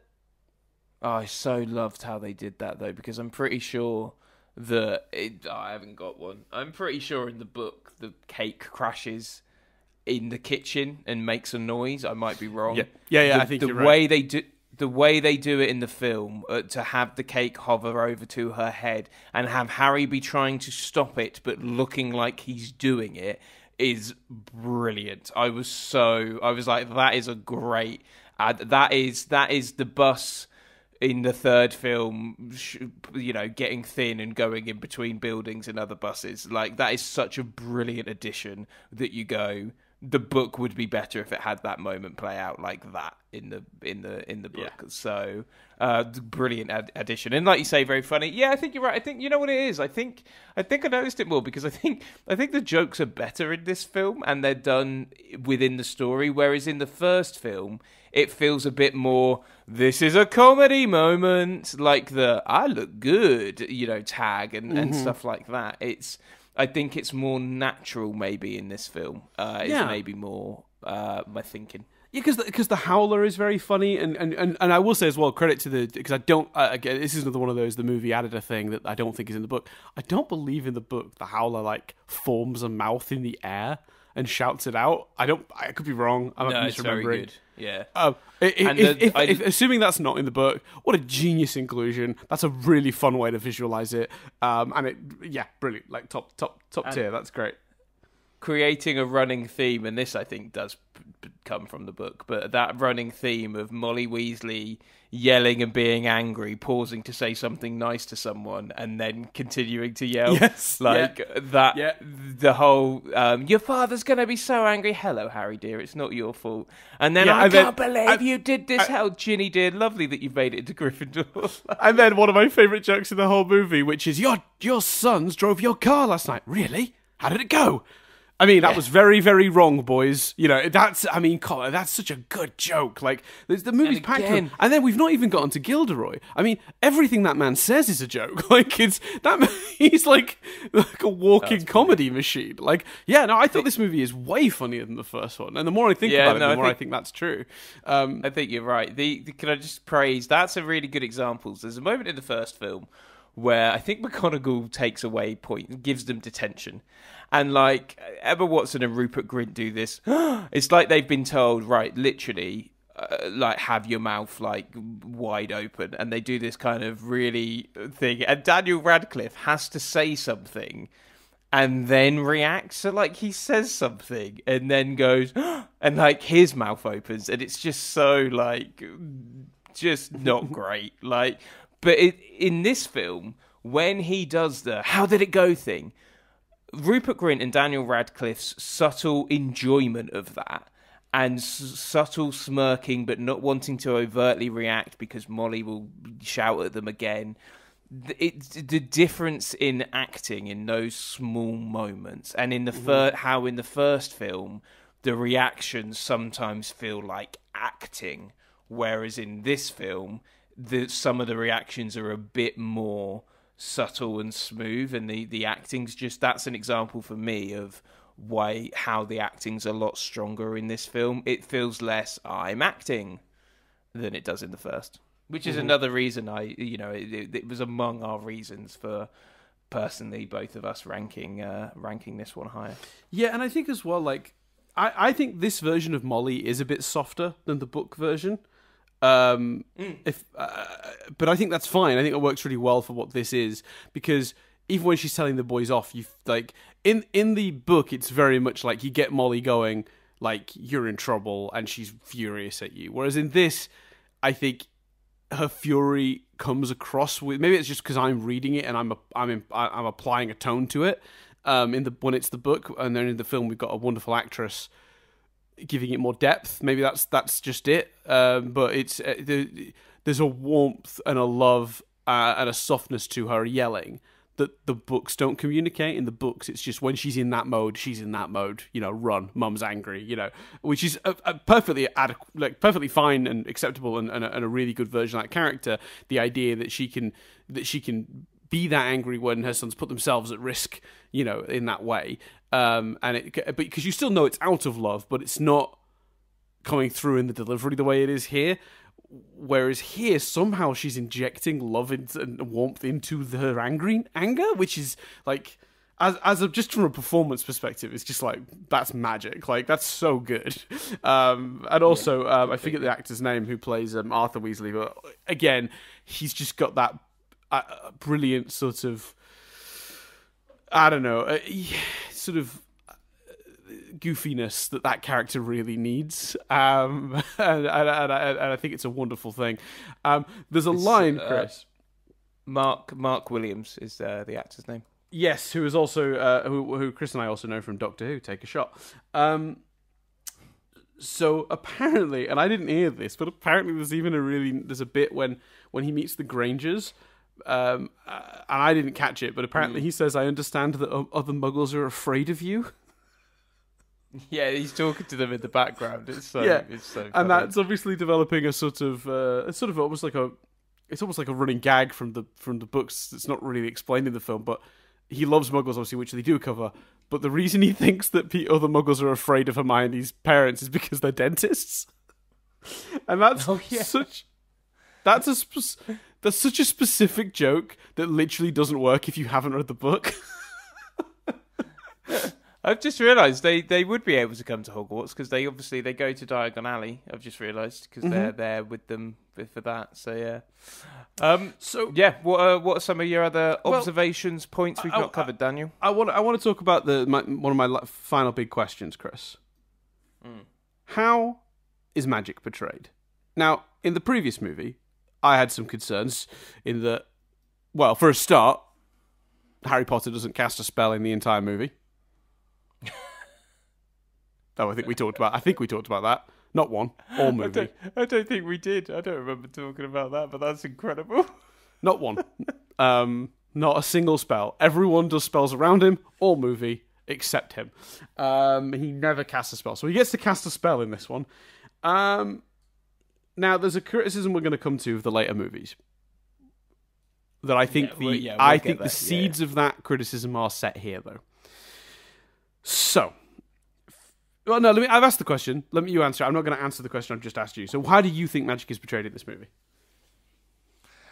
Um, yeah, it's, well, there's there's a lot of kind of flashing. I can't even remember. I, I feel like most of the spells are spells, which is a criticism of, of later movies that we have. Um, you know, you think about the dueling club and it being the uh, the snake. You think about the eat slugs and it, it, making the slugs appear. Like it feels like, and the the the one of the most magical. And it it, it depends if you're specifically talking about spell casting. But one of the most magical, I think, right on the text things is the is the is the uh, Weasley's home.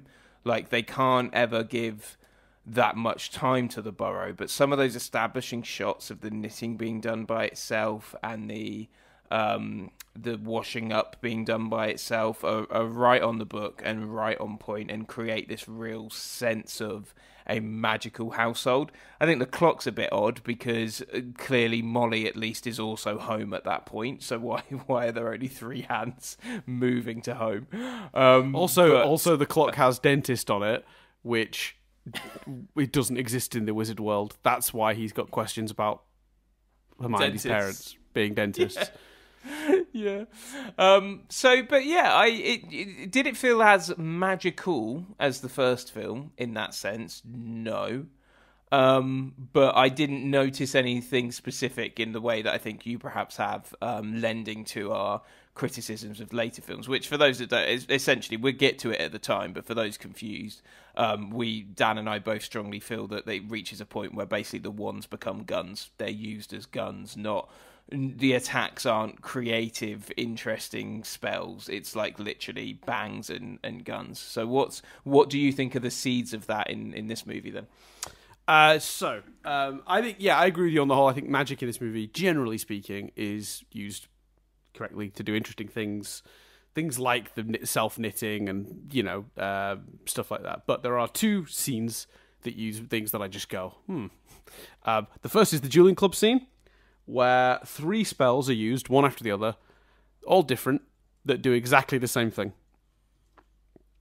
Um, mm. uh, someone uses Expelliarmus, which in the book is a disarming spell, knocks the wand out of your hand. Now, in this, when Snape uses that on Lockhart, um, it just throws him to the floor. Blates a big blast that knocks him back. White sparks. Gilderoy knocked off his feet.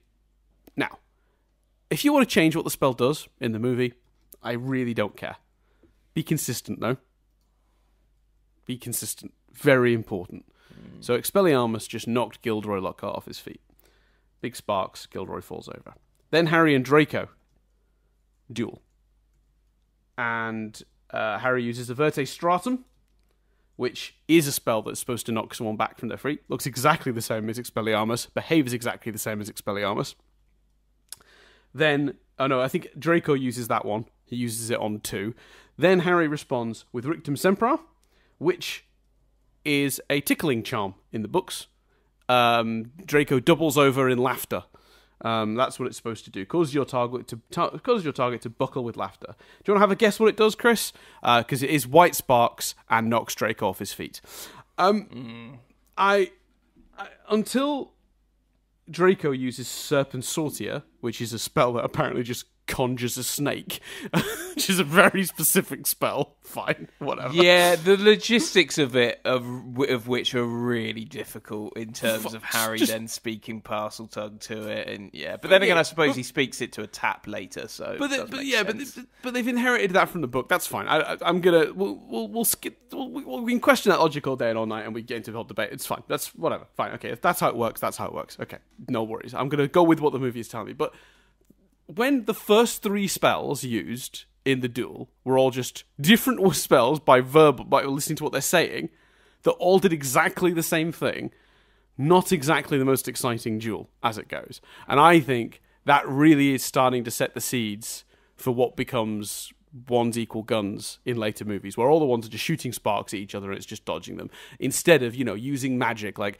if we're fighting and you shoot something at me maybe i use magic to bend a tree so it blocks it, or you know, I use a uh, I don't know. So I or I use a spell to tie up your legs with vines while you use a spell to I don't know launch something at me or like I don't know just doing different things with the spells that are more creative than just shooting sparks at each other. And I think that is a problem that these movies really really have in in serious issue. And, and I think this is the beginning. Um, and and I was really surprised to see it creeping up so early in the franchise. Um, there is another scene, uh, the scene where they're escaping the spiders, when Harry uses a spell which is entirely invented for the for the movies. But again, I'm okay with that. It's Ira- Arania ex exumai, uh, exumai, which is uh, a magical spider repellent spray- spell. I'm okay with the spell existing.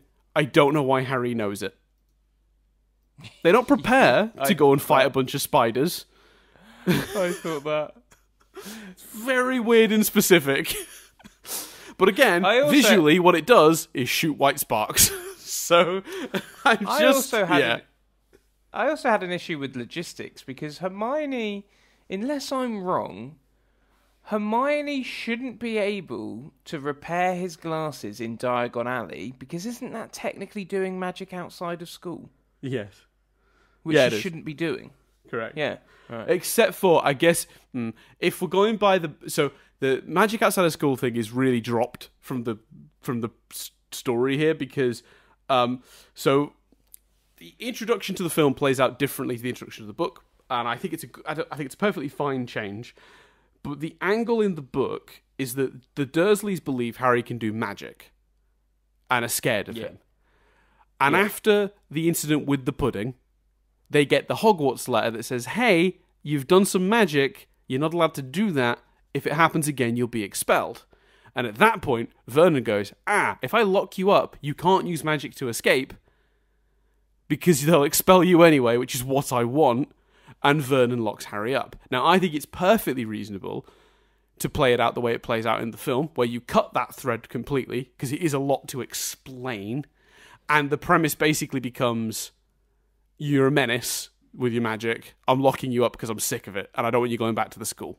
That works perfectly fine, makes perfect sense. There's a very logical th- through line for it, but it does not cover a thing that then becomes relevant in a later movie. Because in a later movie, one of the plot lines is about him doing magic outside of school. Um, but in the books, the explanation that would cover what happens with Hermione and her uh, repairing of Harry's glasses is they tell they can tell where magic is happening, but they cannot always tell who the conjurer is, which is why Dobby's pudding spell gets blamed on Harry. If she's in Diagon Ah. Alley, Yeah, they'll think it's a uh, another witch or well, it could be anyone. There's probably thousands of anyone. spells happening eh, all the time in Diagon Alley, so I guess they wouldn't know Hermione did that, even though she's technically not allowed to do it. So yes, so I uh, so you can so you can fansplain that one away, um, less so the pudding one. But there you go. S- Speaking of Hermione and, and magic, I, I so the uh, what and one I completely uh, agree and see your point about the the beginnings of that uh, magic being used like guns criticism, and I think you're right. It does, especially the the sparks on Draco things shows that it it, it is it is appearing here for sure. Um, Another magical moment of the film, one of my favourites, is Hagrid talking to Hermione and saying, "You're comforting her after the the mudblood thing." Um, Oh, you've I co- thought you've- that was You've come on to my last big question, Chris. oh nice. What's your What's your last big question? Well, my last big question is: How do you think they handle introducing wizard racism? Yeah, so that well, that uh, the the best moment is is Hagrid comforting Hermione. B- Right. Beautiful, beautifully done, beautifully acted on both Robbie Coltrane and Emma Watson's part. Um, very emotional, very sweet. Gets across, you know, the the the lovely uh, view of it. Um, I think they, I think they do. They, they, I think there's less. There's maybe less rage, but I, you know what? I think that's the right decision. The you know I'd almost expect maybe Hagrid to be like, "I'm going to tell Dumbledore," da da da da da. But actually, the the the the the approach they do in the Hagrid scene works so beautifully for the scene, so I don't I don't mind that so much. And actually, you see Ron's rage and stuff. Um, and it's set up quite, you know, with McGonagall talking about how um, Slytherin had the wrong view of, of um, you know, pure blood. I almost find it uncomfortable that she uses the the term pure blood because I mean it's kind of doing the same thing as the word mudblood, so it should surely be just as kind of um, right. criticized as a as a term. So I felt a bit uncomfortable Yeah. with her using that in a lesson. Do you Um, think but that, that Draco's she sort of looking does it with over- that? Do you think she does it with a tone though that's kind of like you know quote unquote pure blood? Like you know I'm not agreeing with them. I'm using their phrase like sort of Yeah, maybe. Yeah, yeah, Yeah, that's fair. Um, but Draco looking over at Hermione in that scene, and Hermione sort of scowling back. Again, some really good subtle acting from Tom Felton and Emma Watson. The I think they do. Yeah, I think they do definitely. It's it's it's very clear what what's happening, and uh, you know certain parallels being drawn um, with the with you know the non-fictional world and stuff. Um, I think yeah, I think it's uh, yeah, I would say it's uh, it's it's done well. You? Yeah, I, I think mostly that's that's yes. I think it's done well. I do have some. Can I? I, wish they'd left the Mu- Muggle Protection Act stuff in. Basically, is is is one of my two sort of points on this.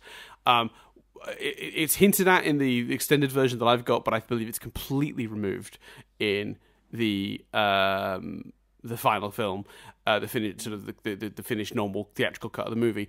I think that's a, I I think the movie would be improved by it. I, I I don't see why we couldn't have had them at the breakfast table at the Burrow, throwing a line or two about how he's been working very hard because they're putting in a new Muggle Protection Act, uh, and then have Lucius make a comment in the middle of the movie, you know, or or uh, when they're at um.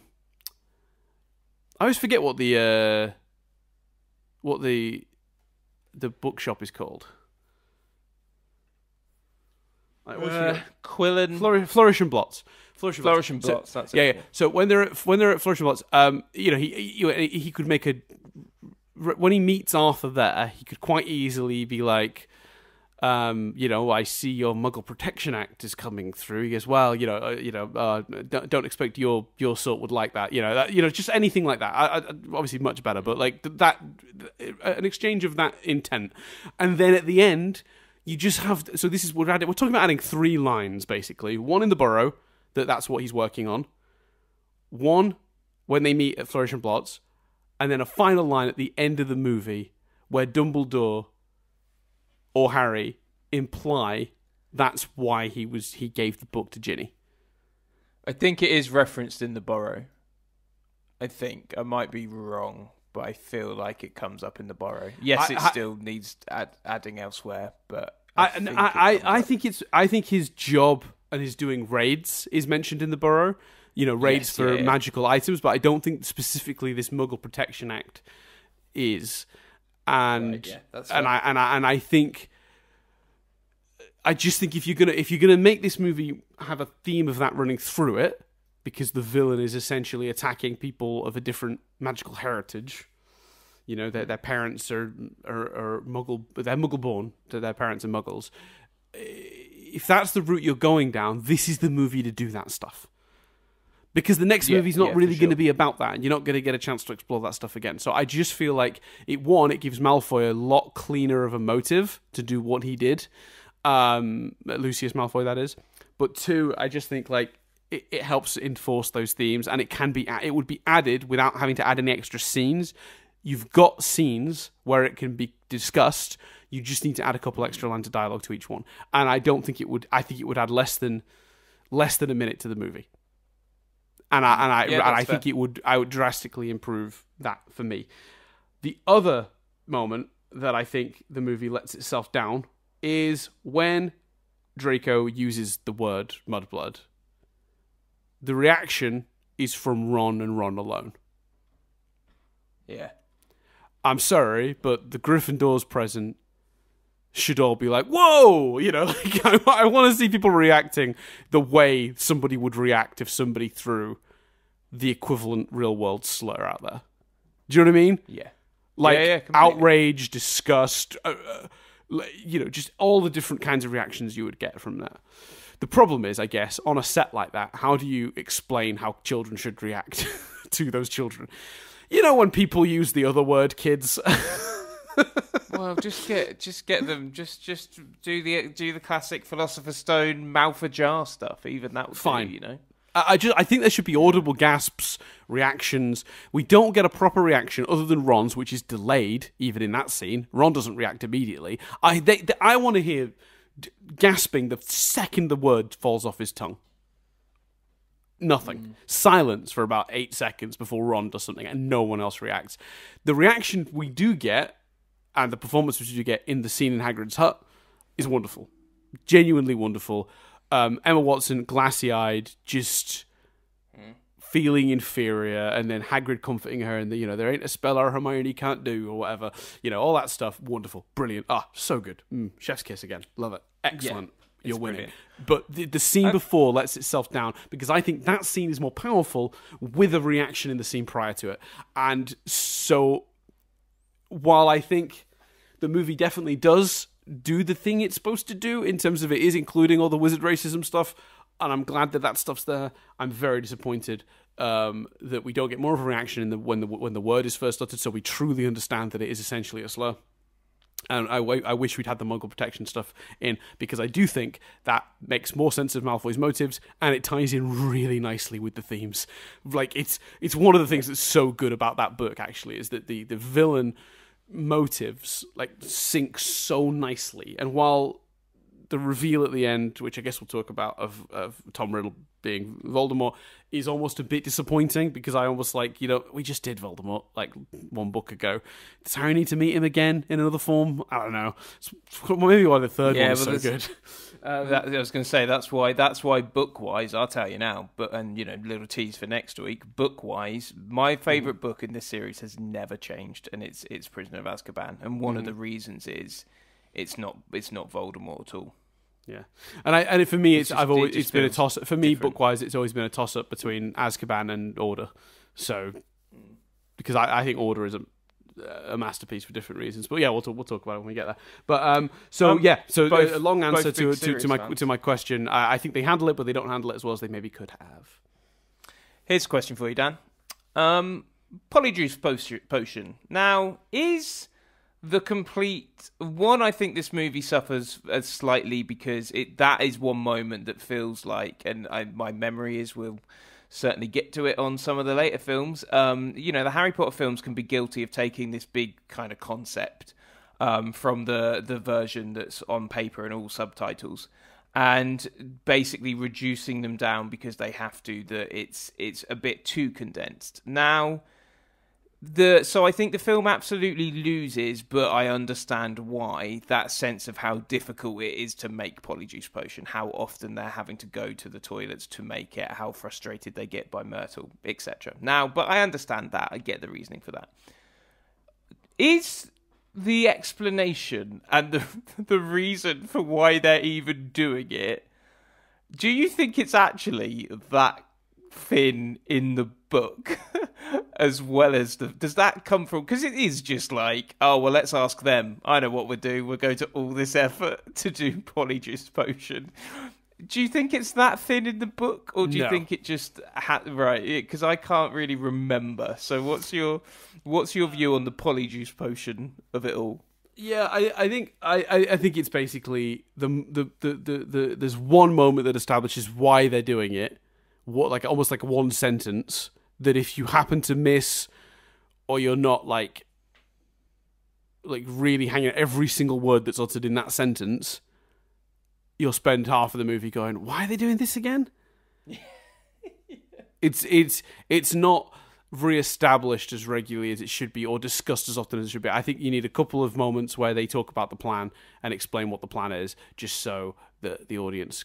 Because if you're gonna if you're gonna set it up and then pay it off later, it's different if you set it up and then pay it off immediately. If Polyjuice Potion could be created immediately, which to be honest with you might have actually been the move, just to make the film a little bit tighter, like or not even tighter but cleaner. I think you don't have to. It doesn't have to be. I, I, this is what this is one of those moments where people are going to realize I genuinely don't mind changes to the law and the world. I, as long as it's consistent in the films, I really don't care. If you just go in the and, films, and makes sense for the school for the films i'll forgive i'll forgive it, it, it, it, it if it's a yeah, it shame has to to, yeah, it has to be done for a Yeah. reason. It can't just be arbitrary, Yeah. right? Yeah, yeah, yeah. Yeah. Change for change's sake. Yeah, but like if you just say to me, "Oh, Polyjuice Potion just takes like a day to make in the movies," Fine. I don't care. What?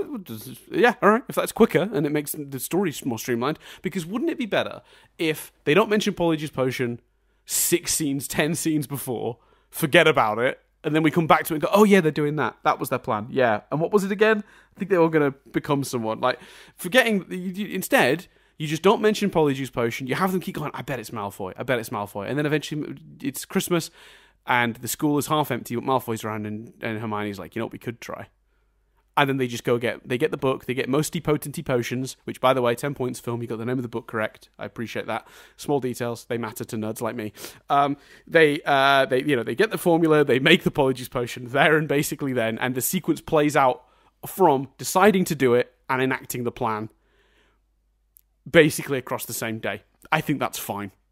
Then it becomes a sequence like deciding to follow the spiders getting them into the trouble in the in the sorry in the dark forest Forbidden Forest, um, because then it's just it flows better, right? Because otherwise, what you've done is to try and be honest to the book. What they've done is they've had them say earlier in the movie what their plan is, and then there's this huge gap between them that and them enacting it, and you almost forget they were doing that.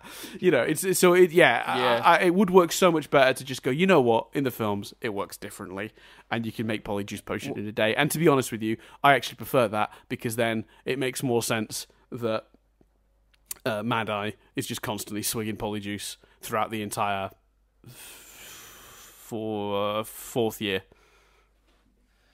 Yes, yes and I year. think you you could do all the moaning Myrtle stuff in the scene as well. You can set her up yes. enough, well enough in that yeah, in that yeah. scene. So um, there you go. Here's a here's another question. Um, I and I I is think it, it's is wonderful. it did, did Ron's voice break between movies? Yes, yes, it did. no, not not necessarily that. The but yes, it did. Uh, the car stuff. I think every scene with the car is pure childhood fantasy film magic. Ah, I think yeah. it's I think it's wonderful. The the first scene where they escape with the car is exciting, intense, and I kind of like that he. I, at first, I was like, mm, but I actually kind of like that he doesn't forget Hedwig in this, whereas in the book he forgets Hedwig and has to go back, and that's sort of what wakes them and stuff. I like. I think it makes sense a for him to remember Hedwig and be for it to be the bars flying off of the building that is the thing that wakes them up. Um, so I just think there's a real joy in that. And then equally, um, you know, following the train, the notion of the train being behind the car is exciting. And when the car does its hero zoom moment in the forest, um, really, really nice. I think they should have then kept that going, the, the notion of the car doing the work in the forest. Um, that would have been better, smoother, made made more sense. But in general, anything with the car is a is an absolute joy. I, did, I think. What uh, do, did, do you agree? A little did you know, Chris? Did you know that J.K. originally planned in the final book to have Ron out in the grounds fighting Death Eaters during the Battle of Hogwarts, and then the car to suddenly jump out the forest and knock them over? She didn't get to put it in, and I'm sad because that's fucking brilliant. I would have enjoyed that scene. She she toyed with that idea and then decided it was too silly for such a serious book but I, I love that idea. if I'm being honest, um, I agree with you. I think it gives us action beats that aren't in the book because the book is uh, all these books pretty much, um, with the exception of the last couple, are pretty actionless until their final acts. Generally speaking, they're not action books, are they? There's not lots of sequences of them running around.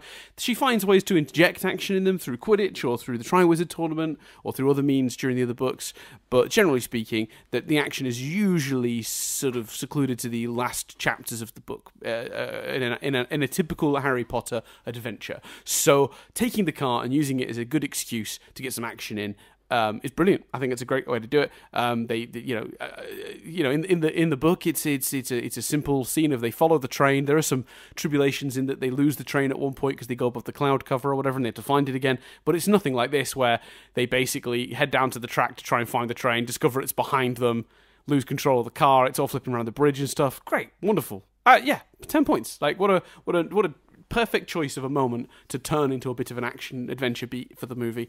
Um, same with the, the the stuff in the forest. My only small criticism is I don't really think you need the shot of the car before they find the spiders where Ron goes, "Oh, it's mm. living in the forest." Because don't remind me the car is there right before you meet the spiders. Have the yeah, the car appearing be a hero moment, right? Like I want, I want to be. Ple- I'm never going to be surprised by it. I've read the book a thousand times, but most audience members won't necessarily know that's coming, and I think that's I think the surprise of them running away from the spiders and then the car just turning up is too good to spoil with that random shot where they're walking through the dark dark forest and um and they see the car and they're just like that's the car. Oh, it seems to have gone wild out here. It's just just a part of the forest now. And it's like, no, no, no, no. Bad, bad Ron and Harry. Bad movie. Stop it. Um, It's you know, such a shame because it, it, it going off into the forest in the beginning is enough. Like Yeah, like and, it's, and also that's one of my favorite jokes from the movie as well. And I don't know if it's in the book, I can't remember, but the, the car just ejects their bags and them. That's brilliant. Like you don't need to have a setup shot after that because that's such a good moment when it gets out of the Whomping Willow situation and it just launches them from the car. it's great. So yeah, The um is uh right. Let's do it, Dan. Let's let's get to the Ron and the Hermione of it all. Because on the one hand, I whilst it's awkward, although I don't think as awkward as my friend Tom. Just I remember vividly, and every time I watch this movie, I send I send him this moment. Um, the he I remember I hadn't seen the film yet and he you know at 12 years old I remember vividly him going mate there's a moment in this film that made me laugh so much and I was like what was that because we were gangsters at 11 years old and I was like oh yeah. And he was like there's a moment at the end where Hermione comes in and Ron sort of flits to the flits out from the from the row. And then Harry goes behind him behind him and is like whoop. Like so that moment always makes me laugh and smile. Um, I think it works fine. It just it reminds me of my friend uh, Tom that really just makes me laugh. But the embedding the Ron and Hermione stuff um, in this film, I think is a really interesting choice because you know they they talked about that. I remember behind the scenes stuff going. There are things embedded in this film that we're starting to embed earlier than the books. I don't think that's true. If you actually look back at the Chamber of Secrets, uh, the the book, and look at and I can't think of any more, so I'm just going to call it the book and look at Ron's reaction to Hermione being petrified. Look at Ron's reaction to Hermione being called a mudblood. Like the they she was sowing the seeds already. Like Harry is saying stuff. Ron is just sat looking at her terrified when she's in hospital. So I I think actually the the book was embedding it as well. It's just way more subtle than the film does. But you know what? I think I think you, you know you know at that point that's probably where that story's going. Yeah, start start embedding it in because actually you as a ch- what's really nice about that moment at the end, I think the handshake is one it's also funny, but two as an adult you watch that and go they're afraid of each other because they fancy each other, they have feelings for each other. As a child, you watch it and go, The, Harry, Harry and Hermione. Uh, sorry, Hermione and Ron don't really like each other. Like, that that's a bit weird. Like, I don't think you understand it, and I think that's great. Like uh, this this kind of theme of feelings and and romance uh, that you know potentially it, uh, uh, almost an adult theme in a child's book playing two different ways to to an adult and a child I think is quite clever um, so I I don't object to them introducing that earlier in the films than is than is introduced in the uh, in the books what's what's your feelings Dan Daniel on the Ron and Hermione of it all Um, I really like it. I think it works brilliantly. It ends up playing into what we already know where it already goes. Um, it's actually an accident. Um, that- that's how it worked out. Um, apparently, the script had her hugging Really? both. Um, and 11 year old Emma Watson was really embarrassed about having to hug the boys in front of the entire cast. And the compromise that Chris Columbus gave was that she'd only have to hug one of them, and then they'd do a joke. And then even when she hugged Harry, apparently she let him go really quickly every time, and they had to cheat with the footage, where they take the few seconds of footage that they had, like barely a second, that she actually held him before she let go immediately because she was really didn't want to do it. Um, they um, sort of looped that footage from different angles. So when you see her face and then you see Harry's face, um, it's actually the exact same moment played a couple different ways, played a different couple of different angles to create, make the impression that the hug lasted longer than a split second. And then obviously the compromise was that instead of hugging Ron, they get embarrassed and shake hands.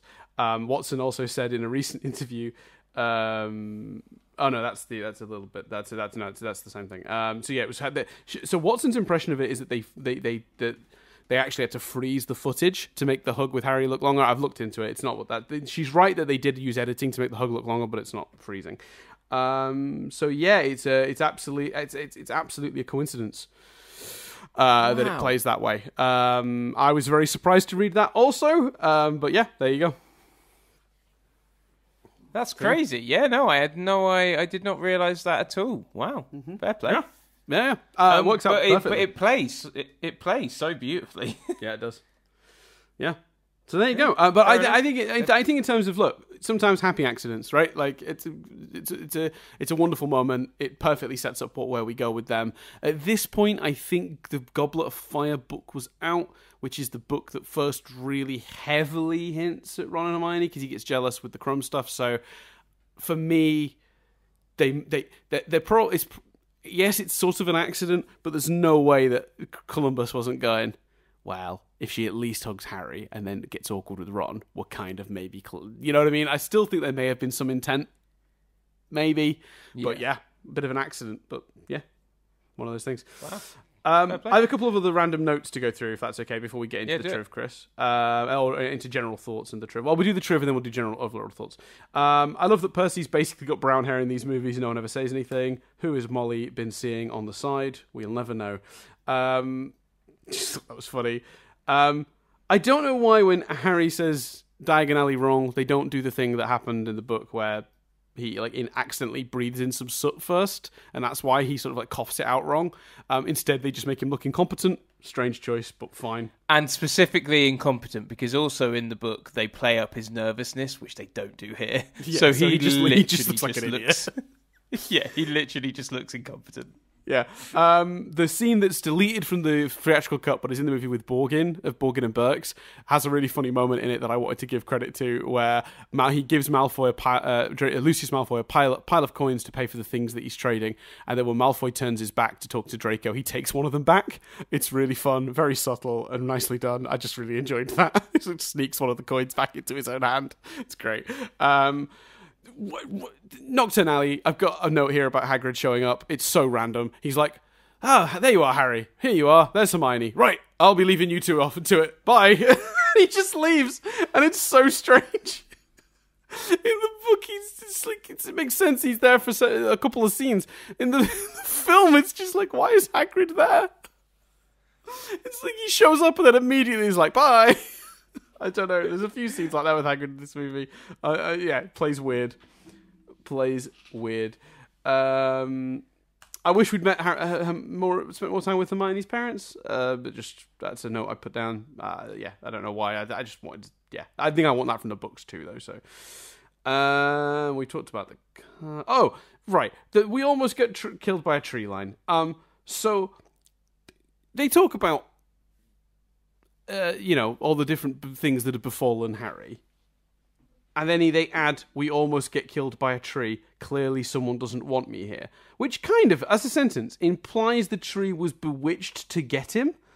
But obviously, the Whomping Willow behaves Oh, that way for a reason, and is the is is key to the next story, which was out by the time this was made. And also, a few minutes later, Snape says it's it names it the Whomping Willow and says it's been there for years. So I don't know why that line is there. It's very strange. Doesn't make sense. Sorry. Um, there you go. I guess Um, it's just a bit. It's an excuse to build in the idea to the audience that this is all being orchestrated in some way. Yeah, yeah, I get, yeah, but not the Whomping Willow part. The the barrier No, I know, being but it's still- it- the, the- all the other stuff fine, but the Whomping Willow thing weird. But no, but the but the characters don't know it's not, and it, it is an excuse to get the idea in the film. yeah, I think you're right. Um, but I'm just giving a. I'm you know I'm playing devil's advocate. I'm giving a defense.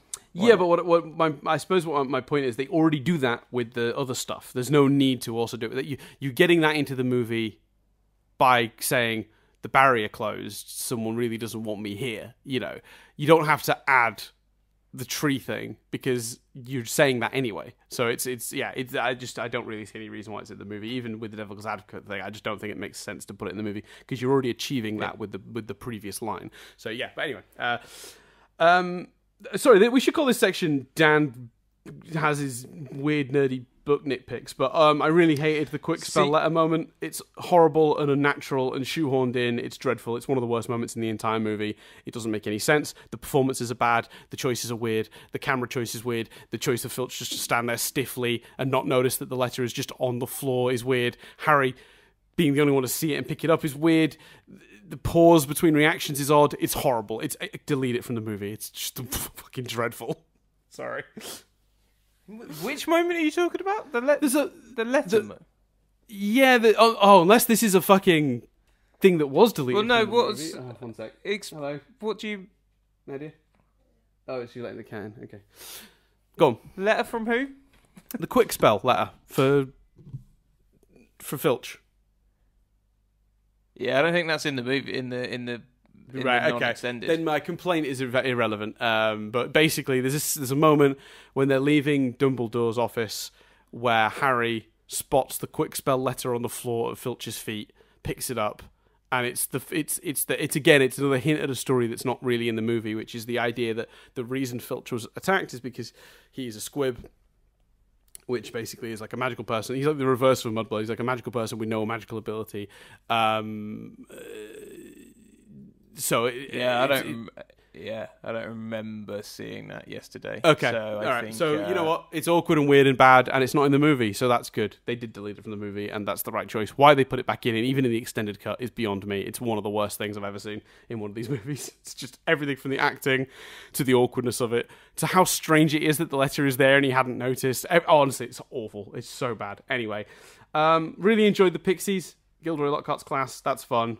Um, we haven't talked about it, but I, I really like that scene. I like every, it's from the book, but like the whole idea of him building them up like they're really dangerous, and then it's just pixies, and then he can't even handle them is great. Uh, that just works really well. Um, the Quidditch sequence is really exciting and fun, but uh, just as a little, little nerdy push my glass at my nose moment, um, you wouldn't, you wouldn't sort of bewitch the snitch to go out of bounds like that, because then no one will be able to see it.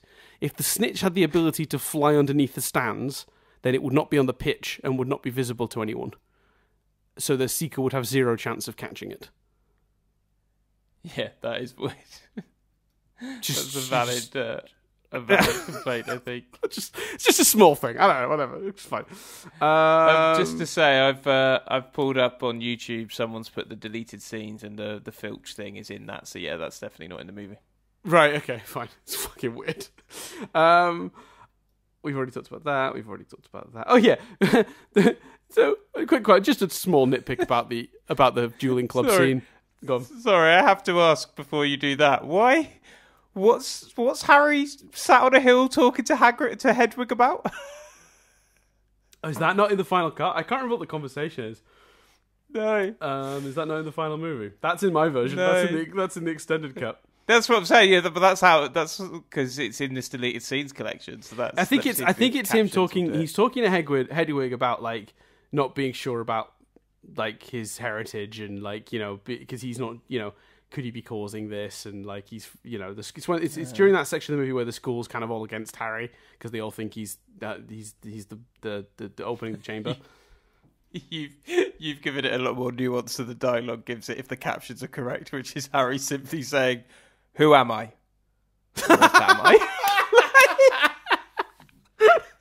so you're you're really you're really reading from that. I'm I'm going to go out on a limb, Dan, and say that your interpretation of that scene is based on more than the dialogue given it within it. Excellent. I really enjoy that. Um, so uh, carrying on with with my weird, apparently my new section where I just do all my nitpicks right at the end, very in quick fire fashion. Um, uh, the plan was to teach the, some people blocking, and they get a volunteer pair to do that, and then they just make them duel, which is not what they were bringing them up for. Very confusing. Um, let's teach them blocking. Yes. Should we have some volunteers we can teach this to? Demonstrate with. Yes. Okay. D- children duel. Weird. Strange. I don't.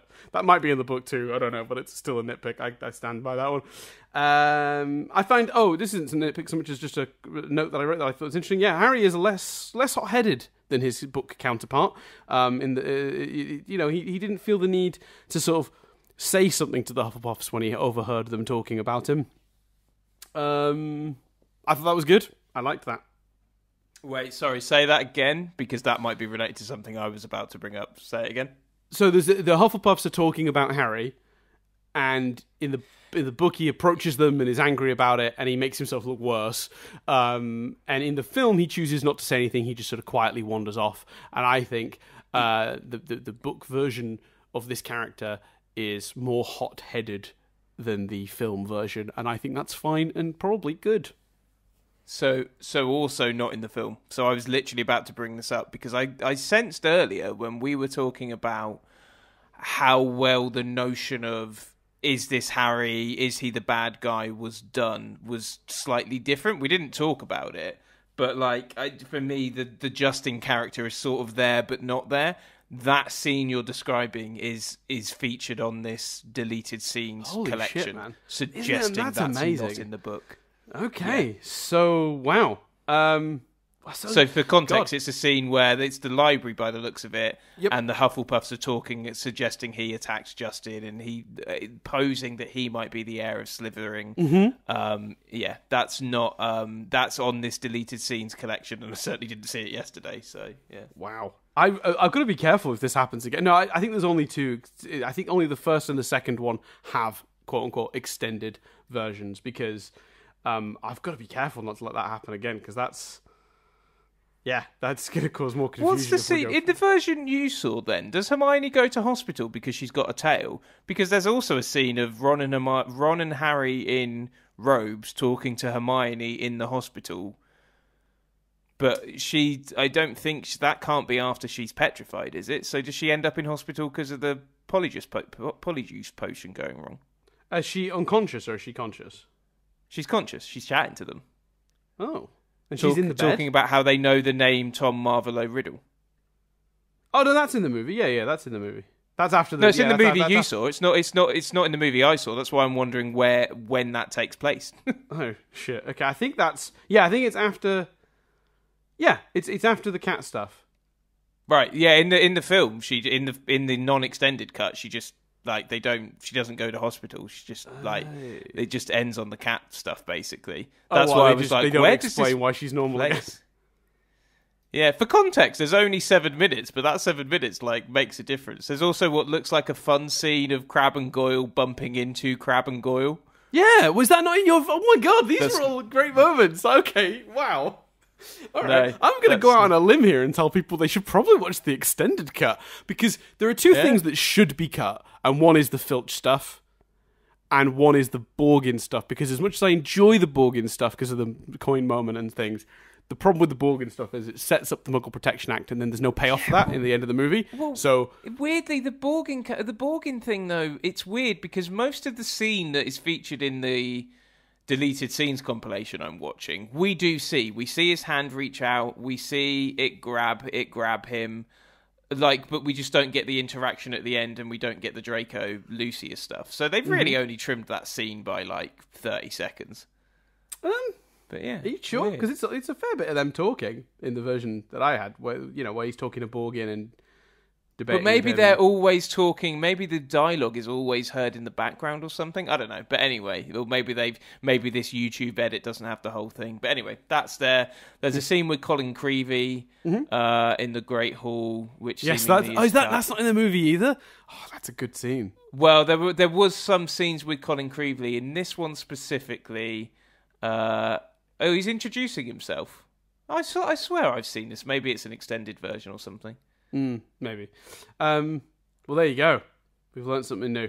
Um, the, the, I've just double checked. No other version of these movies has an extended version, so this can't happen again. So apologies for anyone listening that it's a bit confusing. We've ended up watching different versions. It was pure accident. I didn't realize until I was midway through that that, it was longer than the internet had told me. Because I paused it to make up a tea, and I saw the runtime. Went, wait a minute, wasn't this only supposed to be like two hours and forty minutes? Why is it like two hours and fifty? Like I was like, what, what, what Yeah. is this? And then I realized it was an extended version. Anyway, um, Harry talking to the hat, good moment. Glad they've included it. Really de- de- demonstrates Yes. his self doubt. Um, at this stage, even he doesn't necessarily believe he's innocent, which is, I think, a really f- cool angle on it. Because I think in the book he's pretty clear that it's not him, and he's frustrated that the school thinks otherwise. Uh, but here they play it as he doubts himself even, and wonders if he could be involved. And that's actually, I think, quite a powerful notion. Um, so yeah, I think I like that. Um, this is a, a problem they've inherited, a nitpick that they're inheriting from the book, and I double checked. The line is almost word for word, but the Dumbledore just being like, the Phoenix has healing tears and can carry heavy things. And I'm like, hmm, those two facts will definitely not become relevant later in this movie. um, when they're talking to Malfoy and trying to get him to give up the secret, you know, whether he's the heir or not, him just taking a present, asking if it's one of theirs, and when they say no, pocketing it is brilliant. That's just great. That's just very Malfoy. I love it. He also randomly rips a page out of a book in the bookshop, and I was like, what? Yeah. is that is is that relevant, or is he just being a cock?" I think he's just being a cock. Um, I will say as well, by the way, if you freeze frame it, when Lucius slides the the uh, book back into Ginny's cauldron, he you can clearly see the diary, Riddle's diary, being slid Oh, back into. I don't think you even need to freeze frame it. I thought they lingered on it quite a bit. Oh, really? Um, Okay, yeah, yeah. I, yeah. I just saw some screenshots afterwards. I didn't, I didn't notice it in the moment. Um, we've already talked about that. Sorry, la- last couple, and then we can go on to the triv. Sorry about this. I, I maybe I won't do this for the next one because this has taken longer than I thought. Um, how? Well, actually, no. The part of the reason this part has taken so long is because we discovered that there's a bunch of things I saw that you didn't. um, how did no one notice the paper in Hermione's hand? They properly investigated Colin Creevey, looked at his camera, opened it. The paper in Hermione's hand Yeah, was pretty obvious. I found that weird. Um, really enjoyed um, the memory spell backfiring in, the, in this version of it. Um, such a satisfying end for Lockhart, and I just uh, they do they do at least give him one or two moments of being weird and funny in the chamber. Um, because just am I right in think, remembering that they do have the moment where he's like, "This is almost like magic." Uh, I think so. Yeah, I think so. When they're when they're when they're flying away with with forks. yeah, yeah, yeah. Oh, oh, uh, yeah, they do have that. Yes, yeah, Um, and it's very good. Uh, yeah, I've I've made note of this. I think everything in the chamber itself that's dialogue is bad. Um, Tom's big exposition speech isn't great. I don't like visually showing me that the bird has blinded the basilisk, and then having Tom say, "Your bird may have blinded the bas- basilisk, but it can still hear you." Um, show don't tell movie. Show don't tell. Like Yeah, that was bad. real bad dialogue. Not good. Doesn't need to be there. Um, Harry grabs the sword out of the hat like he's expecting it to be there. I would have been like, mate, just do one more take and be at least a slightly bit surprised and hesitate. like, oh, is that? A... Yeah, oh my god, it's a sword. Just something. Eh, Oh. Split second. Just. He he In takes it out of that hat with so much confidence. It's like he knew it was going to be there. It's weird. Well, he sees it forming, and I know it's I know it's cleaner to like have the hat on the floor and then the sword, like us see the sword appear in it. But I so prefer how that's done in the book, where he's like wearing the hat and then it drops on his head. Is that what happens? I remember In the book, he- the floor. In the book, he grabs the sorting hat, puts it on his head, and is like, "Help me, help me!" and it sends him the sword. I'm sure I might be wrong, but I, that's definitely my memory of it from the book. In the oh, in the film, there's a shot of the the hat's on the floor, and then the sword materializes within the hat. Fascinating. I thought it was that way in both. Let me check. That's very interesting if that's different. Where am I up to? Uh, the Heir of Slytherin is the name of the chapter. He's asking Tom to help him. Um, I bet Dumbledore's. Oh, here we go. Here's the I am Lord Voldemort bit. God damn it, where's the sword? This is going to take way longer than it needs to, but I'm curious because I'm that's not how I remember it at all. Oh, here we go. You're right. Good memory. Boom! Two t- twice twice today. Two points to Billingham. Yeah, yeah. We just of small visual detail, like like you know, it's, it, both of them were like physical things that happened that I remembered slightly differently, like the the sock on the book and then the the sword coming out of the hat. So he puts that on. Help me, help me. Wait, does he? Oh, Oh no! Wait a second. Wait a second.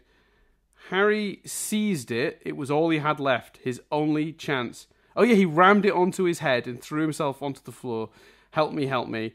Uh, there was no answering voice. Instead, the hat contracted as though an invisible hand squeezing very tightly. Something very hard and heavy thud- thudded onto the top of Harry's head, almost knocking him out. Stars winking in front of his eyes. He grabbed the top of the hat, pulled it off, and felt something long and hard beneath it. You're right. Oh, that's a that's phrasing. Um, Um, spe- speaking of the sword, what the fuck? This really sharp, powerful sword, and at the end of the film, Harry's literally holding it by the fucking blade. Like, what's going on well, there, there's movie? two parts to that, Chris. I didn't like that he grabbed it by the blade because the blade is filthy with blood, and I wouldn't have touched it with the blood. But hand me it by the handle, please, Dumbledore. I'm not touching all this fucking blood. Number one, But certainly But not in a way that I'm going to cut my, you know, the third film is Harry Potter and the hepatitis. Like, And then yeah, and then the second point of just yeah, is it supposed to be super sharp, Harry? You can't just grab it by the blade. Yeah, no, that's dumb. Um, last two notes that I've got. Um, moving on to just get this done so we get to the trivia. Uh, Basilisk, I'm not sure I like the design. I think it's kind of clunky and weird. I, I like that they tried to merge practical with CGI. I don't think the final product works as well as it could. Um, and it looks more like a monster than a true snake and I guess that's a that's a choice, but like, I, I don't care for that choice. And then my final note: um, all the exams are cancelled. Is and will always be insane. yeah, because what got me about that is it's fine, and I think that happens in the book as well, doesn't it? It But does, but I in the think- book you can potentially fansplain it in a way you can't in the film. So in the book, McGonagall approaches the table and says it as a school treat. Exams will be cancelled. You could argue she's saying that to the specifically the, the you know the second years, third years, you know the ones that aren't doing exams that they need to get jobs later. Like you can't it cancel the exams for the students Yeah. doing the owls and the newts. like, Yeah, that's exactly exactly what I was going to say. Like, it makes sense for Harry's year, but anyone doing owls and newts, like, they need those qualifications. Yeah. what do you mean my exams are cancelled? Have I got to do an extra year here? Like, what is this? So there you go. Yeah, it's weird. Right. Cool. There we go. So let's let's let's let's finally, Dan. Let's let's triv it up. Let's triv it up. I'm going to give you some trivia, and I'll go through these as quick as I There can because we are running out of time. Uh, Jude Law was d- deemed too young to play Gilderoy Lockhart. He did audition for him, though. Uh, he would later play Albus Dumbledore in Fantastic Beasts, Crimes of Grindelwald. Uh, Hugh Grant was originally cast as Lockhart. Actually cast, um, but was forced to withdraw at the last moment because of a scheduling conflict with a movie called Two Weeks Notice. Uh, good choice, Hugh Grant. Um, look, I think Hugh Grant would have been great in the role. I love Hugh Grant. I think he's very good. I think this would have actually really put his career on a different path and, a, and potentially a very good one. We would have gotten even more good, goofy Hugh Grant over the top performances. Um, he's found his way to those roles in recent years, but this would have got him there sooner, I think, and that is a shame. But with that said, I mean, come on, Kenneth Branagh, born to be, born to be Gilderoy Lockhart, and um, Yeah, yeah. And, uh, and also I like the fact that Hugh Grant had to find his way there through more dramatic roles, um, like Right. the film where he, the film about the the mus- the the older musician. It's got it's got the guy from that plays Howard in The Big Bang Theory, and I can't remember what that film's called. And obviously, um, a very British scandal, which is still one of my favourite Hugh Grant performances ever. So Oh, you're, you're thinking of Florence Foster Jenkins. Yes, that's it. That's Yes, yes, yes. Uh, well, that, that movie is, is a comedy, but he he plays a he's oh god he's amazing in that movie.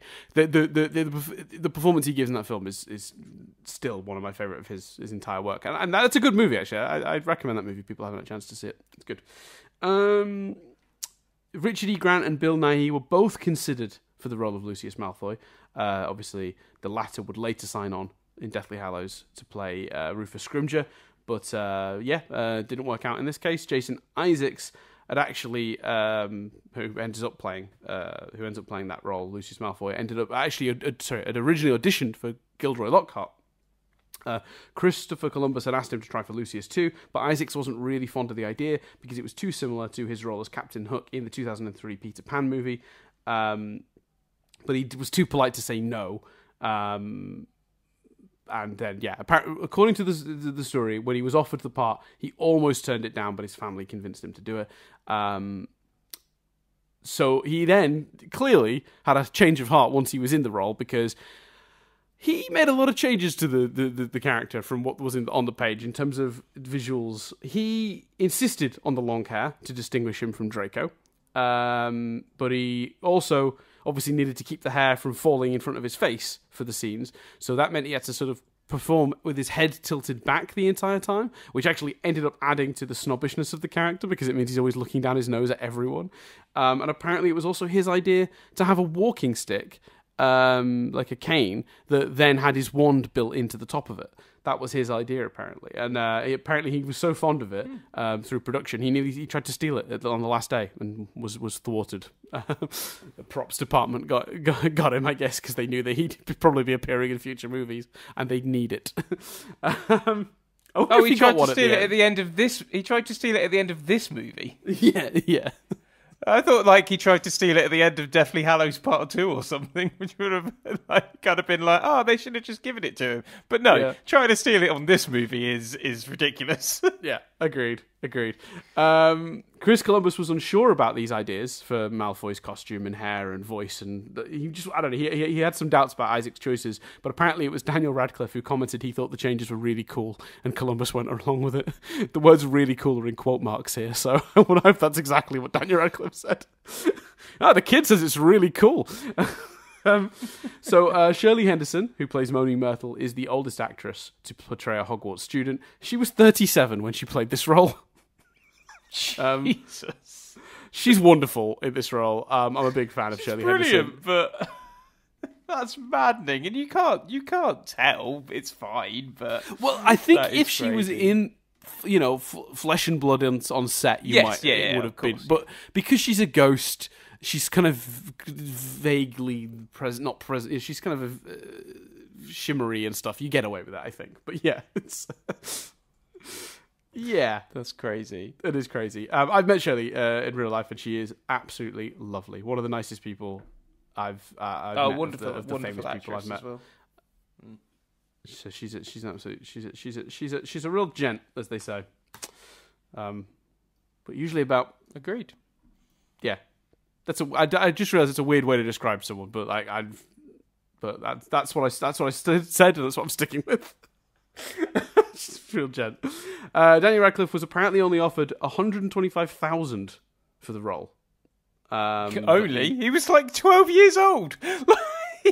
Yes, but as we've talked about in the past, actors are worth what the movie is worth, right? Like he's the Well, star yes, of a movie that's going to make millions and millions of dollars. The, And they were throwing movie is him- called Harry Potter and the Chamber of Secrets. Yeah, you- you- I, I, I take it back. You, you raise a good point. Yeah, so Actors Equity uh, Union actually stepped in to negotiate new terms because this was deemed absolutely unacceptable and that he was basically being taken advantage of, considering. Um, and they uh, upped his salary to roughly two million, which is quite a jump. But considering how many millions this movie would have made, you know, absolutely. Um, when Hagrid is escorting Harry out of Knockturn Alley, um, and it, oh no, no, we'll come back to this one. This one's a this one's a not triv. This is a trivia that was put in, and then I looked into it, and it turned out to be fake. So at the end of this, I'm going to do some anti triv. I've got two bits of triv that are commonly said about this movie that are not true. So we're going to come back to that. Um, just like his character, Rupert Grint had such a severe case of arachnophobia that he has still not watched the entire scene of Ron and Harry in ha- Aragog's Hollow. Um, so there you go. Apparently, a lot of his looks of terror are real because they had puppets and stuff on set for the spiders. So there you go. Um, during production, Emma Watson frequently brought her pet hamster Millie to the set. Unfortunately, Millie passed away shortly after shooting began. The set uh, department created a specifically made hamster coffin complete with velvet lining and the name Millie engraved on the top. Watson has since said, "I don't think a hamster has ever had a better send off." Wow. Um, it, I mean, so here's the thing. That's lovely. That's awesome. That's really treasured. I think it's really sweet that they were that they did that for her. I think that's I think that's brilliant. Also, didn't they have enough to do? Yes. That's true. There is a point. There's a point there where you're just like, that seems like a lot of time wasted on a coffin for a hamster. But fine. Um, yeah, very strange.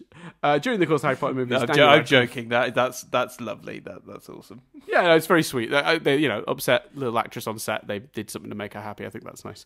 Um, during the course of the Harry Potter movies, Daniel Radcliffe goes through 160 pairs of glasses. Um, Lucius Malfoy and Harry's exchange just before Lucius leaves Dumbledore's office was not in the script and was completely improvised on the spot.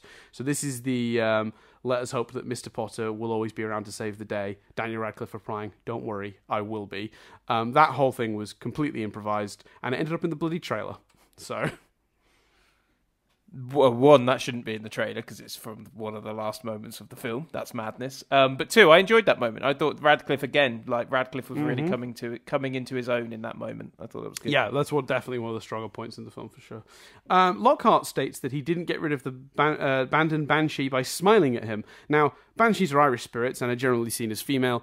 Um, in the book, he correctly uses her, um, but in this one, Kenneth Branagh says he. Now, people were like, "Oh, it's just a simple mistake. Doesn't really matter." But but a lot of people have realized that actually Branagh actually has Irish uh, heritage and Irish background, so it's very likely that he made a deliberate choice to misgender the Banshee to make Lockhart look even more stupid and like he doesn't know what he's talking about. And I think that's really fun. Um, so there you go. Mm, that's a good notion. Yeah. Um, now, uh, what has been noted is uh, this isn't something that the production crew have ever confirmed, but Ron's robes are noticeably grey compared to the black of the other students, including Harry and Hermione. This appears to have been a deliberate choice to indicate that his are second-hand robes that have been washed many times. Right. Very nice. Yeah. Uh, nurses were drafted into the production because an outbreak of head lice occurred during the filming amongst the young cast. Yeah, uh, yeah, sounds about right. Horrific. it's yeah, that's what happens, isn't it? You put a bunch of kids together. That's what happens. That's that is... scarier than anything in this film. Yeah. Um, the set of Flourish and Blotts is actually a redress of the set that served as Ollivander's wand shop in Harry Potter and the Philosopher's Stone. I think that's good. That's thrifty. I appreciate that. You know, yeah, but you know why that is because the props department were too busy making uh, making coffins.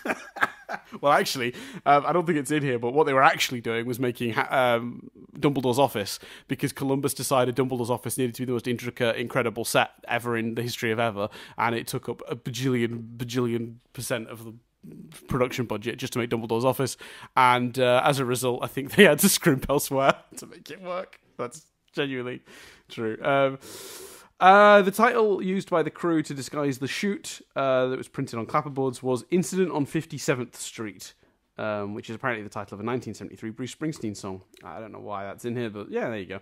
Um, throughout the eight mov- movie franchise, five different actresses play Pansy Parkinson. So, so, sorry to go back. Why? Why did they need to disguise what they were shooting? Like, the book was out. There was no need to hide spoilers. Everyone knows it the film was uh, being made. Why?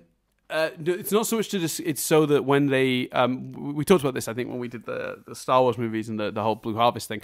Um, people when they know your production is a oh, famous oh yeah yeah right yeah, charge you charge you, you more yeah. for like sets and stuff. And also if if if you send out a letter to the local community we're going to be filming on your street yes. and you yeah, don't if you you, you know if you say Harry Potter you're attracting a big crowd and if you don't you, you don't.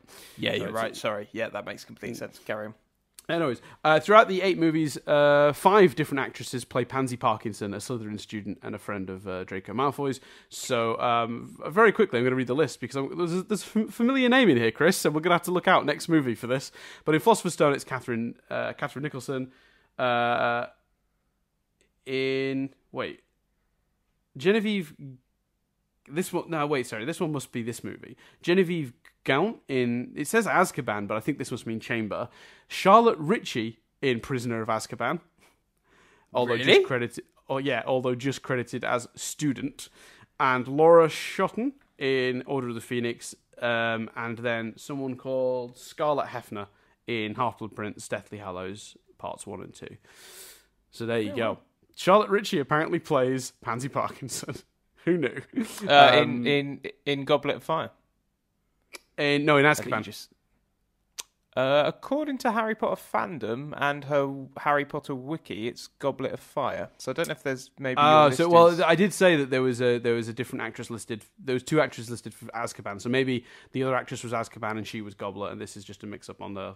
On, okay, yeah. So yeah, but still, maybe. she yeah. yeah. Uh, we'll have to keep our eyes out for that. That's kind of a fun idea. That's a fun, both fans of that actress will be interested to see. It'd be weird to see her so young, to be honest, because we we both know mm. her mostly from when she started in Fresh Meat, where she was like sort of uni age, so it'll be weird to see a very young Charlotte Ritchie running around these sets.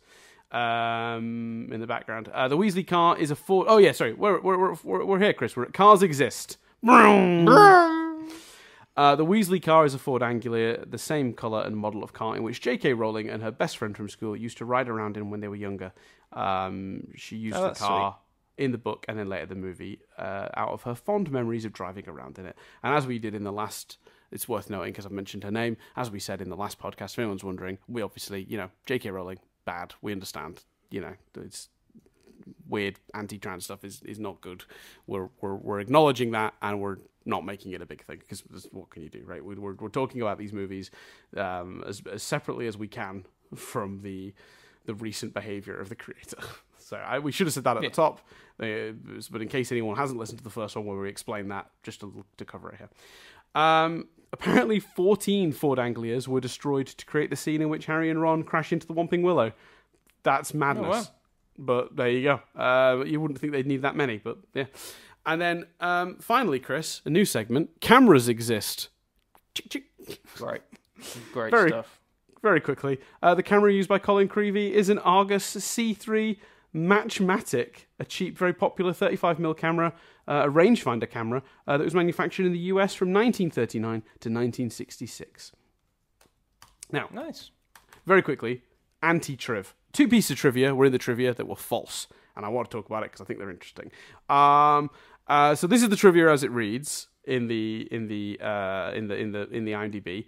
Uh, and then on a few different websites and other places. When Hagrid is escorting Harry out of Knockturn Alley, and again, when Lockhart turns to show his profile to the photographer, hardcover editions of the Harry Potter books can be seen on the shelves. This is false. I've zoomed in on these books on the Blu ray release. They are not Harry Potter books, they're called Witch Wizard um, and have black and white photos of various wizards on the front of them.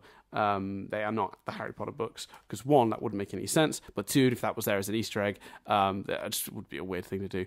Um, so no, the Harry Potter books are not on display. The other one is that the opal necklace, which um, it plays a prominent role in Harry Potter and the Half Blood Prince, can be briefly glimpsed in a display case in Borgin and Burke's in Knockturn Alley. In Knockturn Alley, this is a coincidence. Guess what, everyone? The film was released in 2001. The book that uses the necklace wasn't released until 2005. Fuck off.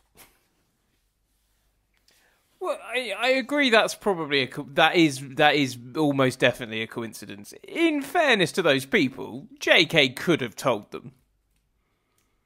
Yeah, maybe, maybe, but it's that seems like But a if very you were small. gonna- she's not gonna. but- t- she, she she'd give them broad strokes. She there's no way she was like right. But recently, I'm releasing a book in four years' time that has a necklace in it. Do you want to make it show up here? Well, also, also to be fair, if anything was going to be there, it'd be the vanishing cabinet, wouldn't it? Exactly. So if know, anything was going to be a second. deliberate, it would be the cabinet. So yeah, that's fair. Yeah. Right, so there you go. We got through the triv and the anti-triv. um, so here we are. We so And yeah. overall thoughts, Chris? Uh, I, I really like this one. Uh, so uh, I think it's top top tier stuff. What are you thinking? Yeah, I, I, I, I rank it higher than Philosophers. I've really enjoyed both. I I approached next week with fascination. I've gone up and down on this film. First time, really didn't like it. Thought there was no way you'd be able to understand the end, uh, the like last twenty minutes unless you'd read the book. Was was talking about that in the car ride home from seeing it for the first time. Um, and love the book. Recent rewatch actually went, you know what? As a movie, it, it, I can see why people like it so much. So I'm going to be fascinated to see where I land after uh, after this time.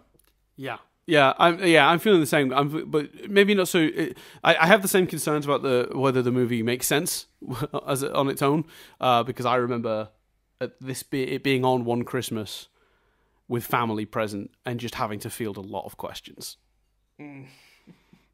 So it was, you know, it wasn't. We weren't in a cinema. Obviously, it was just on TV, so it's fine. We weren't disturbing anyone else to do that. But it was a lot of like, who's that? What's that? Why is that? You know, and me having to go, right mm, in the book. Uh, you know, um, Yeah. so it will be interesting to see if that if that is true of the movie when I sort of try to analyze it more objectively this through this format. It, I will also admit to a huge bias because it is my favorite book, and specifically those last chapters are incredible in the book. Yeah. So yeah, I'm. Uh, And, but I'm but ex- excited. I, oh, well, I was just gonna say I would add that um, my more uh, like will this turn out? How will this turn out? Is that I know this is the movie that starts the trend of like the the, the visuals going in a much more gothic direction. Um, yeah, and, and the the clothes, the tone. even i- i- even just looking at the poster just now, they're Mhm, they're all clothes. in like Muggle normal clothes. And it winds me up because it's so it, it it's so it creates such a nice aesthetic. Everyone being in robes in these first two films. Yeah, and I just think like from my perspective, like you know, okay, do you want to make it seem like oh, okay, young kids, you know, they're they're not robes are like old fuzzy duzzy fuddy duddy wizard things. You know, kids have adapted to Muggle clothes a lot better, and that that is kind of a little bit in the book where like Harry, Ron, and Hermione have to explain. What a kilt is, like you know, like I I, remember, I, vaguely remember that coming up, and there's a few moments like that where it's clear that the Muggle kids, uh, sorry, the Wizard kids do also like wear jeans and t-shirts and stuff. Like that comes up, but when they're at the school, it's clear they run around in robes. Uh, uh, you know, whereas this kind of makes the robes school uniform, an only school uniform. Then again, to be fair, to to be fair, I think Chamber does this too. Like I've just look, I'm flicking through it now, and when they're running around the school Yeah. Yeah, yeah. during lessons, they're wearing the robes. But actually, like towards the like when they're in the forest, they're not wearing robes. Out of school hours, they're just Ron's wearing a little jumper. I suppose at Christmas as well, yeah. And even in that last, in the in the in the whole in the sorry, the, I'm thinking philosophers here. That last that whole last sequence, they're not in robes. In Hmm. you know when they're doing the chessboard and stuff, Harry's in a red jumper. Yeah, so maybe it's always just kind of been they wear the robes for classes, but because these movies Mm. slowly do less and less stuff in the actual classes and in the school, that that, that, that shifts. We'll Yeah. we'll see. We'll judge it as we go. Um, Yeah. but but yeah, um, I, I so I'll be my my bigger intrigue in the next one. Other than well, I mean that is still you know your your your point on like whether it makes sense or not will be a big will be a big discussion point. I don't doubt, but I'm also very curious about the visual changes.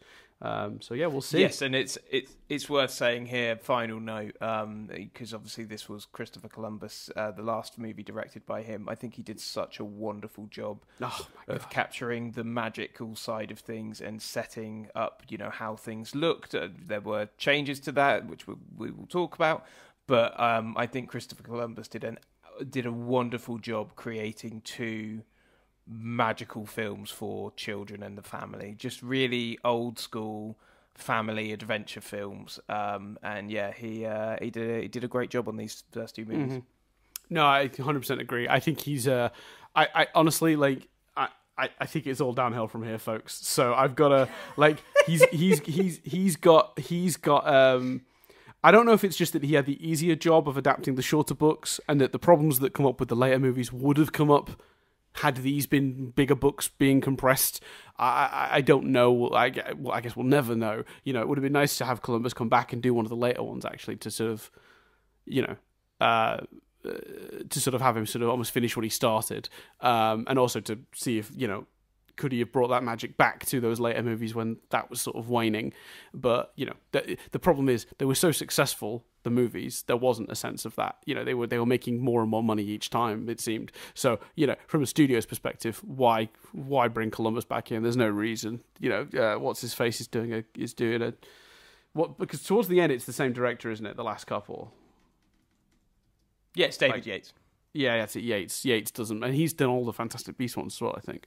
Um, Yes. so you know, so. why fix it if it ain't broke? I suppose, and and, and their metric for whether it, it's broke is, is how much money it's making. So yeah, Yeah. It's no, it's uh, I'm excited. I'm excited to to carry on. Thank you. Uh, thanks everyone for listening. yeah. Hopefully, um, I, because this was a longer movie, I think that's why this has been a bit slightly longer podcast. But we're still we're only at two, uh, two and a half hours. Is actually shorter than I imagined it might be. To be honest, um, there's a lot to cover. Um, so yeah, hopefully next time we can curb our in the book stuff because it goes a bit further. Oh, then again, no, I think we're gonna. That's No, it's going to get worse. Just accept it's going to get worse. No, I think it's going to get worse for that one and then better after that because I think we, Yeah. th- th- I think both of us have that thought about the next one. Not sure if it functions without the context of the book because it's quite a complicated book in terms of all the reveals and the backstory of all the characters.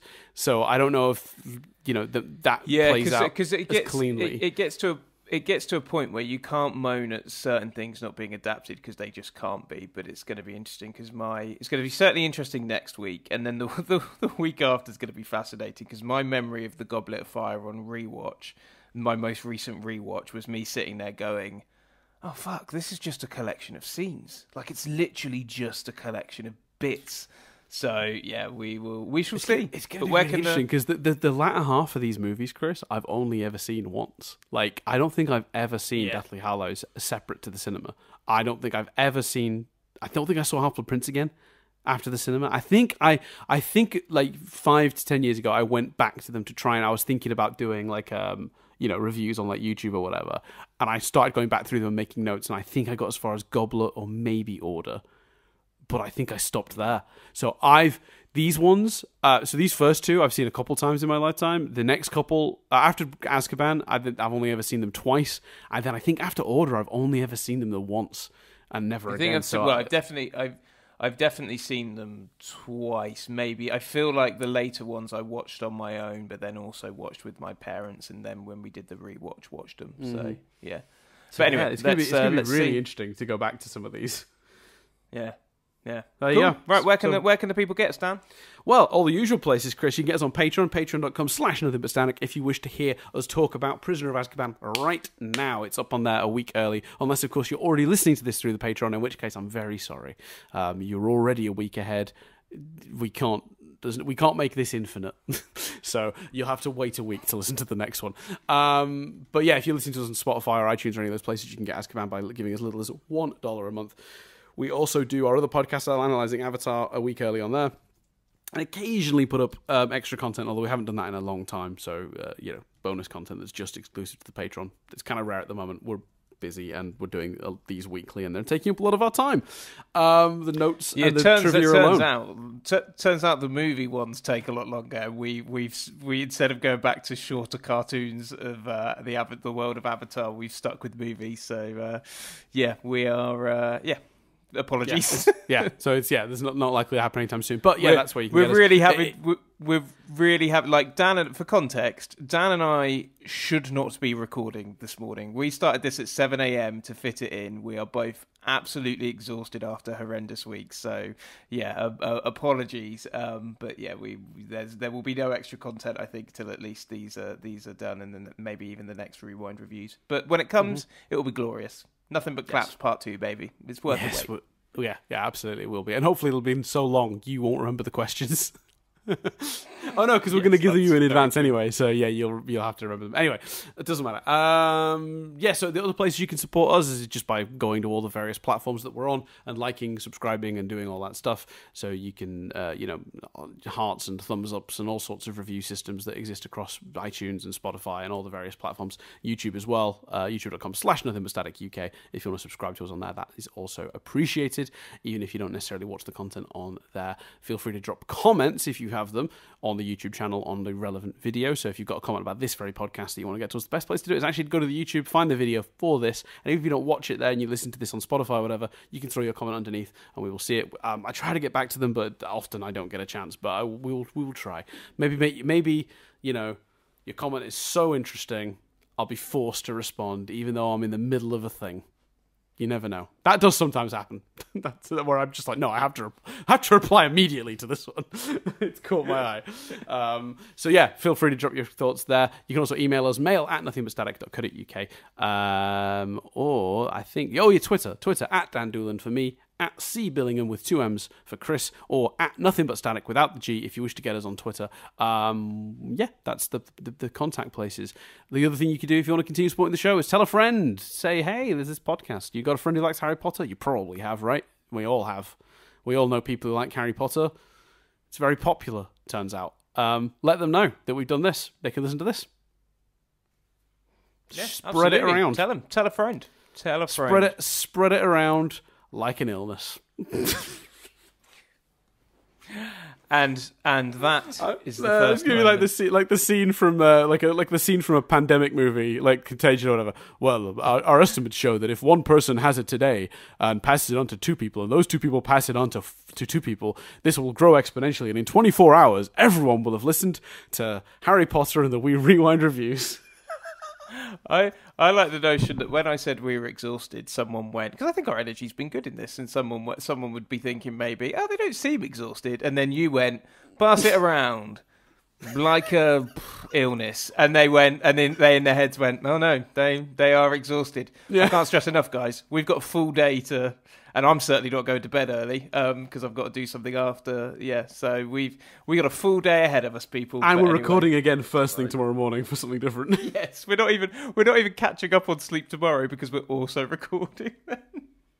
anyway, thank you very much. Uh, for oh no, you, you you've been doing the end ones for the. Oh no, I've been doing it, haven't I? Oh, yeah, it's rewind reviews. Right, I, I, I think last week I kind of forgot myself and did it, but I shouldn't have. It was it's, it's your ending. It's rewind reviews. No, I, I've got it. I remember what it is. I, I, I couldn't remember what I, I I did it in the end, but I couldn't remember what I did. But I've got it now. So uh, Okay. I've been Chris Billingham, I've been Dan Doolan. and this review from the Wizarding World has been rewound.